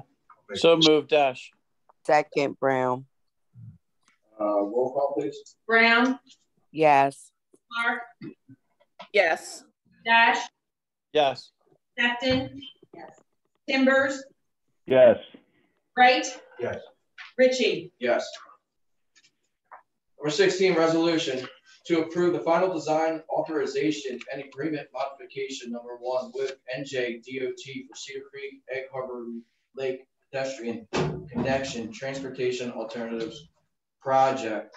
This is, the city desires to approve the final design authorization and sign an agreement modification number one with the New Jersey Department of Transportation for the Cedar Creek Egg Harbor Lake pedestrian connection. Uh, if there's no questions, comments, or concerns, may I have a motion? I'll make a motion. Second? Roll call, please. Graham? Yes. Clark, Yes. Dash. Dash. Sefton. Yes. Yes. Timber, Yes. Wright? Yes. Ritchie? Yes. Number seventeen, resolution, award engineering final design contract to CM Associates. Uh, this is New Jersey Transportation has approved CME's proposal for final design engineering services in the amount of two hundred and twenty-five thousand dollars, two hundred, two hundred and twenty-one dollars, forty-three cents. The final design engineering services contract to be awarded to CM, CME Associates as part of the design systems program. If There's no questions, comments, or concerns. May I have a motion?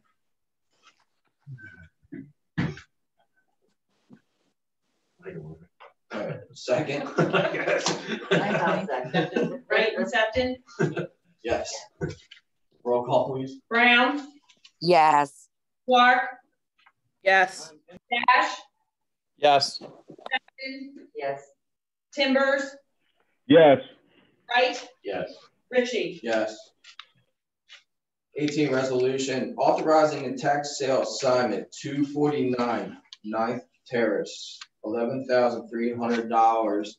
Uh, gentleman has presented an offer to purchase by assignment, two certificates of sale, eighteen 79 and nineteen 97 which were issued by Egg City at tax sales held on 12-18-18 and 12-17-19.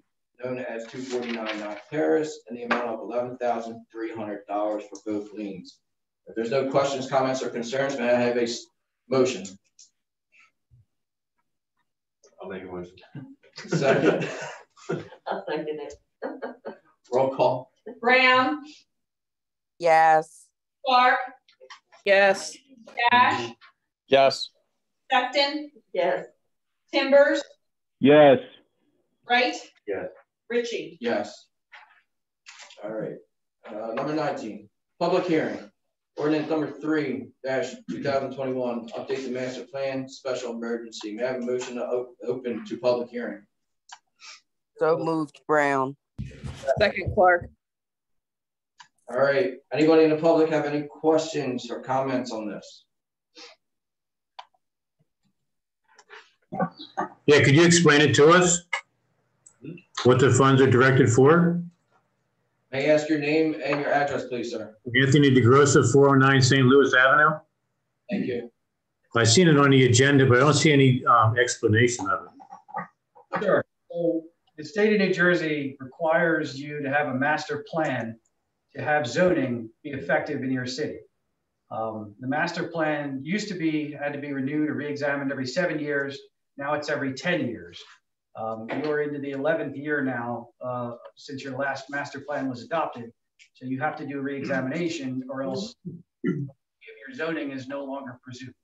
So if someone challenges you in court, it's going to be uh, more, more difficult to fight. So you update your master plan, you look back at the previous master plan, look at your goals, your objectives, what things uh, you were trying to accomplish, what things have changed, um, and you just update sort of looking forward. Um, you know, it's a document that covers a, a wide uh, amount of things in the city, but really the, the focus is for land use and zoning. So is this an update or or a totally new um, evaluation plan? This, this is a re-examination. I, I believe our proposal was for 20,000. The last full rewrite of the master plan was, uh, uh, I believe, $100,000, and that was 11 years ago. So this is, you know, obviously much less in scope than that was. For, for the land? I mean, this is something that you, you- that we knew that was going to take place at this time and we didn't put anything towards it? So You, you can fund it over five years. So we're, we're just authorizing it with this ordinance. We're not mm-hmm. paying for the whole thing right now. You fund it over five years. I think over the special emergency, I'm wondering. Oh. I, I think the, the special emergency term is really a more of a, a funding mechanism than anything else. Am I correct there, Yes. Jody? Mhm. Yeah. So that, that speaks to the funding mechanism, not the situation. Okay. That's what the state Thank you. Hello, Marianne Rogers, 606 Philadelphia. Who is responsible for implementing this plan?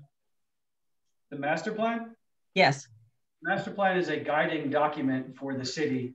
Um, like I said, it, it covers a wide range of topics. There's no one that's solely responsible for implementation, but as people are moving forward, um, as you're reviewing zoning applications, you, are supposed to look back to the master plan and, and what was the vision of the city.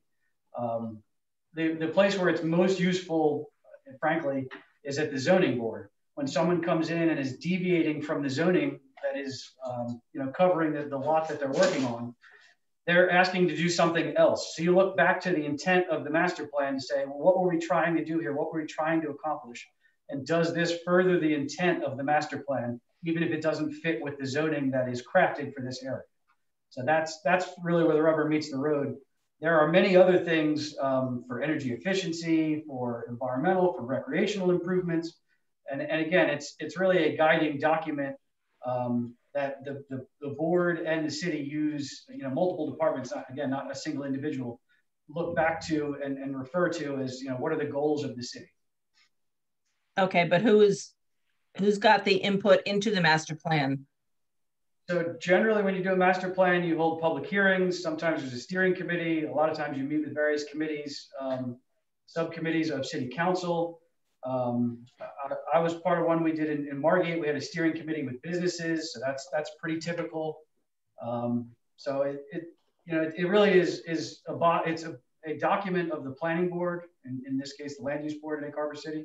Um, so we'll work with them and, and sort of take some direction from them. Um, but generally speaking, you know, it is there's uh, public meetings that are, are held uh, to, to try to gather people's and businesses input. Um, it's, again, it's a pretty broad document, so you want input from a lot of different people um, with, with different views and, and different objectives, frankly. Okay, thank you very much. Welcome. Thank you. Hi, my name is Kim Hesse, New Orleans Avenue. I do have a question regarding this. Um, you said that it's a planning board as well as the council that are going to be um, having their input on this and, and the citizens. I'm wondering, you said you may, may or is there a, a committee that you're going to elect for this? so it is a document of the planning board. Ultimately, the board has to adopt it and then they send it to city council um, to sort of guide city council on what the proposed zoning, and there's proposed zoning changes and things like that in this document. Um, we'll, we'll, be working with members of the planning board and generally members of city council. Um, whether they decide to sort of jointly form a committee, it, it's done different ways in different places. Um, you know, we'll see how the, planning board wants to proceed and we'll, we'll, go from there. Do you know how they did it previously? Um, I, I am not familiar. We did not do the last master plan, so I, I personally was not involved with the, the process. I believe that Mr. Mickle, uh, who did do the last plan, held a, a, large number of public meetings and met with business owners. Um, I'm, I'm not familiar with how he constructed the steering committee. Do you have any idea whether they may continue with the um, transit village or any of the things that were on the, the previous master plan? So those are the types of things that we look at is, you know, lots changed between then and now. Yes. Um, what, what the recommendations will be coming out, I, I could not tell you at this time. It's, it's obviously way too premature for that. Um, but that's something we will definitely look at um, and, and, scrutinize and figure out if that is the best path forward, if, um, you know, it needs to be substantially revised or tweaked or, you know, we'll, we'll see where, uh, where the board wants to go with it. And finally, the main thing with this is I figure, I feel that Egg Harbor City really needs some kind of a, this is where we could go right or wrong with Egg Harbor City. I think we need a draw for Egg Harbor City. And I think with our plan, I mean, so many things from the previous plan you have have been fulfilled at this point, but I feel like there needs to be some reason for people to come to Egg Harbor City. And I think this is where we need to not fail Egg Harbor City. Thank you. Yeah. That's all I have to say. Well said. Thank you. Anyone else from the public? All right. Uh, motion to close the public hearing? Make a motion. Second? Second. All right. To adopt the ordinance. Uh, if there's no questions, comments from council on this, may I have a motion? I'll make a motion. Have a second, please. Second. Roll call. Brown. Yes. Clark. Yes. Dash. Yes. Sefton. Yes. Timbers. Yes. Wright. Yes. Ritchie. Yes. All right, can I have a motion to advertise the notice of adoption in the Hammonton Gazette, March 3rd, so, 2021. Second. So moved, Dash. Second. All in favor? Aye. Aye.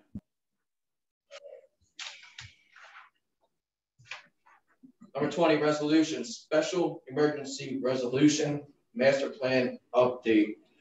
Uh, it's pretty much what we just discussed, correct? Do you want to explain it? Yeah, um, we just do a resolution. It has to be sent to the state, and it just allows us to, um, if you if you borrow notes against it in the future, it just allows for that to um, for that mechanism. And, and um, like our CFO did say, it is paid uh, one fifth over the total amount each year, correct? Yeah. So it's ten thousand a year, not a full fifty thousand dollars. All right. If there's no questions or comments or concerns, can I have a motion? Second. Second. Roll call, please. Brown. Yes. Clark. Yes. Dash. Yes. Sefton. Yes. Timbers. Yes. Wright. Yes. Ritchie. Yes.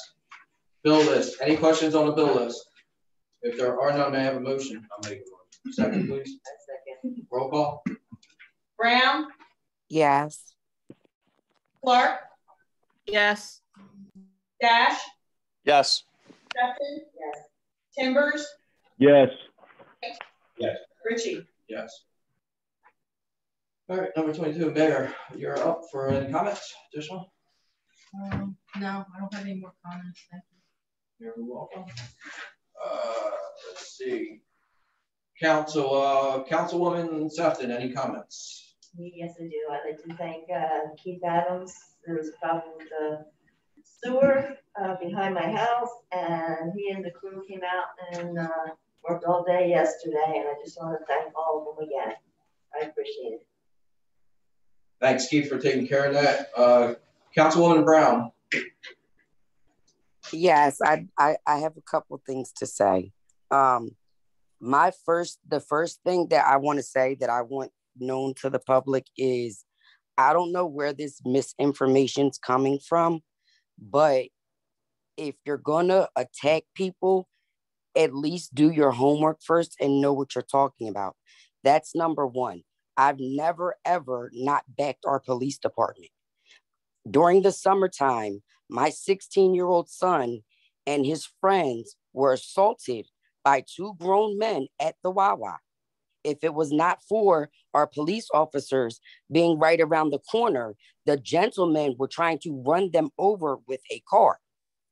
Furthermore, this weekend in front of my house, someone broke into my car and stole over $700 worth of things. I was able to go to the police department and have confidence with knowing the officers and having interactions with them in the public to know that they're going to do their job. So I just want to let the public understand that there's a lot of misinformation out there. And if you want to attack people, just do your homework first. And you might understand better and you might have a different view. And, you know, that's kind of it. That's all. That's all you have? Yes, that's all. Thank you. Councilman Dash.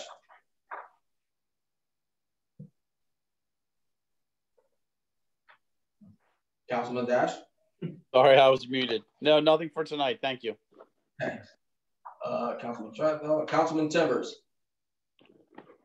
Hi, thank you. Uh, if, if, if possible, I just wanted to kind of rewind back to uh, the comments for the uh, the um, Municipal Land Use Board. Um, I went back through my notes. There, there were two presentations. I just want to let you know that uh, Ryan McGowan, he did give a presentation on uh, group homes, and it was uh, it was really enlightening. He um, let us know the differences between uh, Class F sober living facilities and the Oxford uh, model homes, and what type of um, approaches uh, the city of Egg Harbor might look look at in the future for, for um, issues in, involving these uh, properties. Uh, there was also a presentation by uh, Ms. Galloway uh, about possibly adding protection for trees in our master plan. Since we just discussed it, it is something that she uh, she brought up, and it, it, does sound like a very important issue. And that, that's it. Thanks. I appreciate that. Thank you. Thank you. Uh, Councilman Wright? Uh, yeah, just a couple things. Um, just to let the public know that uh, we do got a couple uh, sports events coming up. Uh, as I was talking at last meeting, uh, flag football. We will be starting the signups March 9th, March 10th, March 16th, March 17th, 6 to 7 p.m. Flyers on the Egg Harbor City Crusaders page. Also, T-ball signups will be uh, starting those same dates. That will be a $30 registration, three to six year olds. Um, 90% of you people have my phone number. Just give me a call or like I said, like Egg Harbor City Crusaders and uh, the uh, flyer will be up there. They'll also be around town also. Also, um, the Crusaders probably will be having another Easter egg hunt at the Crusaders field. Um, time and dates are be, to be determined. Um, so once that information gets out, we will also let you know about that also. So uh, that's pretty much it for right now. Thank you, sir. Yep. Uh, Councilwoman Clark. Uh, yes, uh, just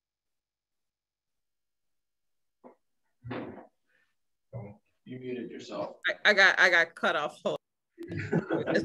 I'm like jumping from screen to screen. All right. Um, just real quick. Uh, the Egg Harbor City School. Um, I have I have kids in the school right now. Um, and they're conducting a survey for parents, if they haven't seen anything yet, um, it's regarding the in-person instruction and remote learning. Um, and the survey closes on March 3rd. So if uh, anyone here has children within the school district, um, please uh, visit the school website to uh, fill in the, uh, the survey. Ingrid, you could get that put on Instagram too if you want to. Um, if you want to email me the information, I can get it on the Instagram page. A lot of the younger uh, families do look at it. Okay, I'll email that to you. Is that everything? Yep, that's all. Thank you. Thank you. All right, uh, I have one thing. It was brought to my attention that Mr. Costa wants the council's viewpoint on holding the food truck festival this year. So uh, I'd like to open that up for discussion for anybody who has any insight or comments or concerns. Anybody? I don't have a problem with it. I mean, I, I didn't get to enjoy the last one, but I heard it was hot as heck, and hopefully we can pick a better date or a little cooler night. Yeah, I think I think they're pretty set on the August date. Because other towns have. I got you. Well, maybe we'll catch that break and it'll be a cooler night. But that, that seemed like that was the only downfall was it was yeah. extremely hot or something. All right. So um, other than that, is everybody on council in uh, full agreement that we would like to see it come back in 2021 and we'll support Mr. Costa with it and his team? Yes, absolutely. Yeah. Absolutely, yes. Right. Absolutely. All right, Mayor, you can let him know. Uh, other than that, I have nothing else at this time. I have a motion to open up the public comment. Make a motion. So moved, Brown. Okay. Second. Uh, for public comment, anybody out there that would like to speak?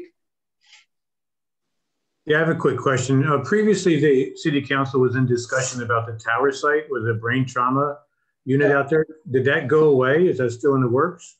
Sir, I'm sorry to interrupt you. Um, if you can state your name and your address, we'd appreciate Anthony, it. Anthony DeGrosso, 409 St. Louis Avenue. Thank you. I'll turn that question over to our engineer.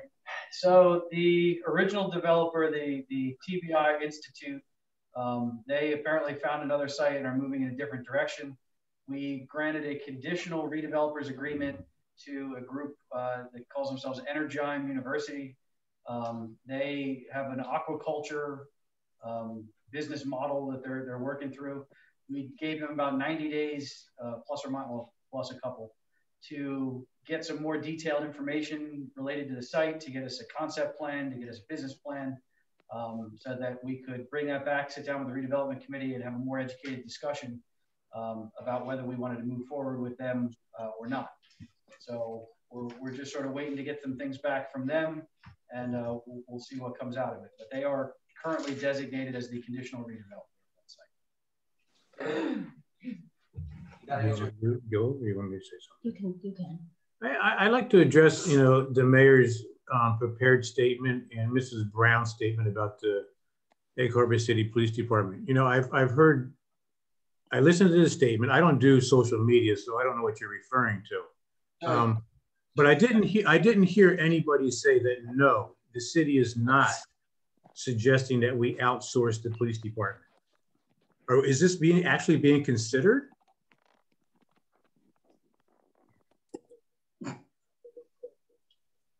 I'm sorry. Am I muted? No. Are you, is this the same individual? Is this Anthony? Yes. Is it being considered? Yes, there have been meetings, as the mayor stated um, earlier today. What Kamala? I mean, so so this decision is just based on city council and the mayor. This is such an important decision to the community here. We've lost so much business in just in Egg Harbor City in general. This should be a ballot item for the, the residents and the voters of Egg Harbor City. This is a, a dramatic change to the city. I don't think that this justifies city council to do this or the mayor. The mayor doesn't do it, Anthony. Okay, I mean, look, there's some input there. There, there. Whether it's behind the scenes or not, there has to be some type of input, some discussion. It's obvious that we've attended meetings. So even though you may not vote on it, there is some kind of input. I think that if you do ever consider something like this, that you you you you owe it to the people of Egg Harbor City to let them vote on something that's just so drastic that's going to affect them in their day-to-day life. This is Councilwoman Brown. I just want to respond by saying nothing was definitive. It was supposed to be an executive session with council to just discuss what was discovered. It was never said that we were going to do anything. It was simply a meeting. We do a lot of meetings about a lot of different things. That does not mean we're going to enter into agreements for those things. We were just exploring. We nobody sat down and said, this is what we're going to do. This is how we're going to do it. We're not there yet. We were simply exploring options. That's it. Okay, I, I understand that. But I would go back to my other comment mm-hmm. that if you did consider doing something like this, I don't think that this is something that you can just leave in the hands of city council. I think the taxpayers of the community have the right to vote on something this important. Anthony, if this was to ever come to fruition, there would absolutely be public hearing meetings, public meetings, not even so much public hearing meetings, just public meetings, inviting the public into um, talk with us on the matter at hand and to get their input. As Councilwoman Brown said, it was it was strictly not strictly loosely a a investigation type kind of thing. Nothing set in stone. There was a meeting with Mullica, and that's as far as it went. Um, as far as the referendum question on the election, it, it does not have to be one. Um, could we explore it? Absolutely, but it does not have to be one. But if again, if it was to ever come to fruition, absolutely the residents of this town will be invited into meetings to voice their opinion and hear what would be at hand. No, I, I clearly understand that it doesn't have to go to election of the people in the community. And the city council ultimately has the responsibility to do it. But the right thing to do would be to ask the people of the community their opinion. Besides a public hearing, which nobody attends, you know, except for us people here. What have we got? 49 people, you know, in the community that, and some people don't maybe not be able to get on here or even come to City Hall. It's, I just don't think that City Council should make a decision this big for the community. Um, my name is Marcella Aylwin. I live on London Avenue here in Egg Harbor City. I also work for the city. Um, to piggyback on what Mr. DeGrossa is saying, I think that with a decision this large, you know, there were meetings held that council was not involved in. No sworn law enforcement officers were involved in any of that. And I think that that is one of the things that there doesn't seem to be any transparency. Um, I- will put it out there. We at the police department are scared.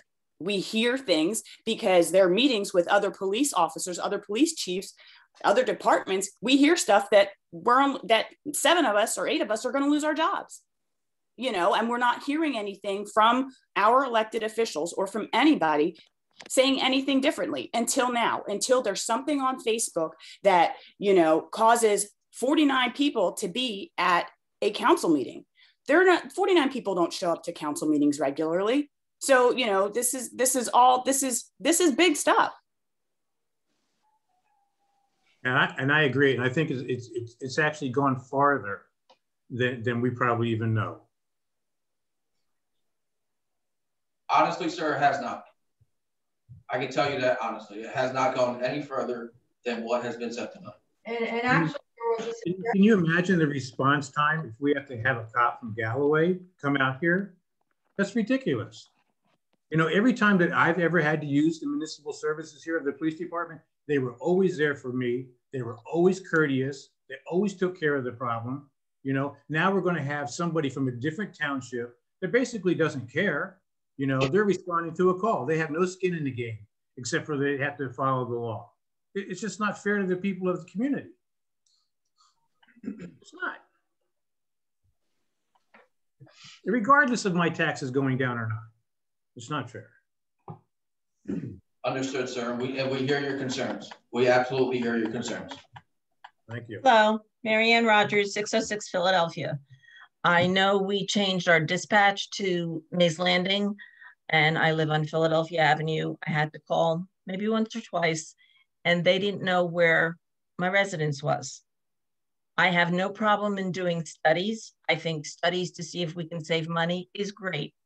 I also think that protecting our police officers and maybe even getting more, even if it's a couple cents on our taxes, is something that we should look into and not outsourcing because maybe there are more problems in other police departments that we may not be aware of. Absolutely. Thank you. Anybody else from the public with any comments? Sandra Perna, 601 Cincinnati Avenue. I just wanted to just comment back on Mr. DeGrossa that I do think a vote um, should be the situation if it was to um, to do the shared services for the police department. I, I would think the citizens do need to um, have a voice and you know they don't always go up to city council meetings. Um, I'm, I, I can attest to myself I, I don't. And you know that's that's important and and our safety in our town is important. So I just that's what I wanted to say Anybody else from the public?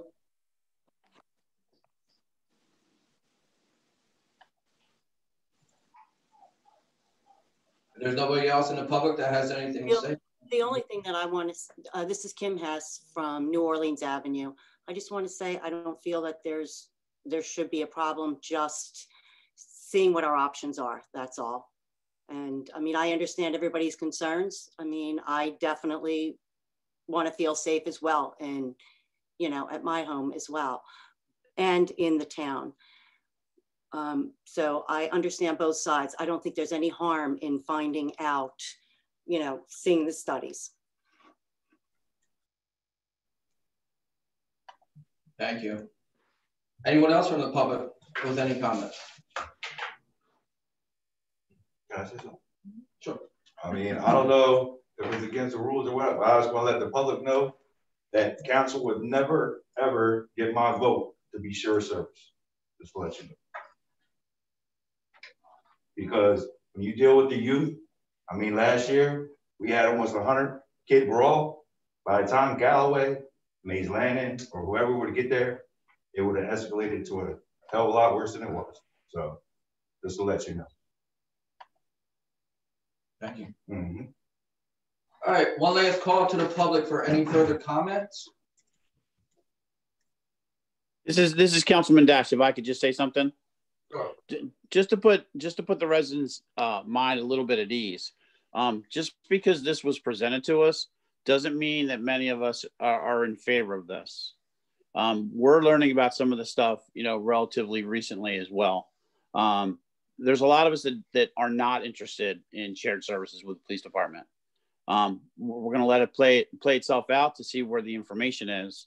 Um, but don't think because we're we're not being more vocal that we're all in favor of this. That's all I have to say. Thank you.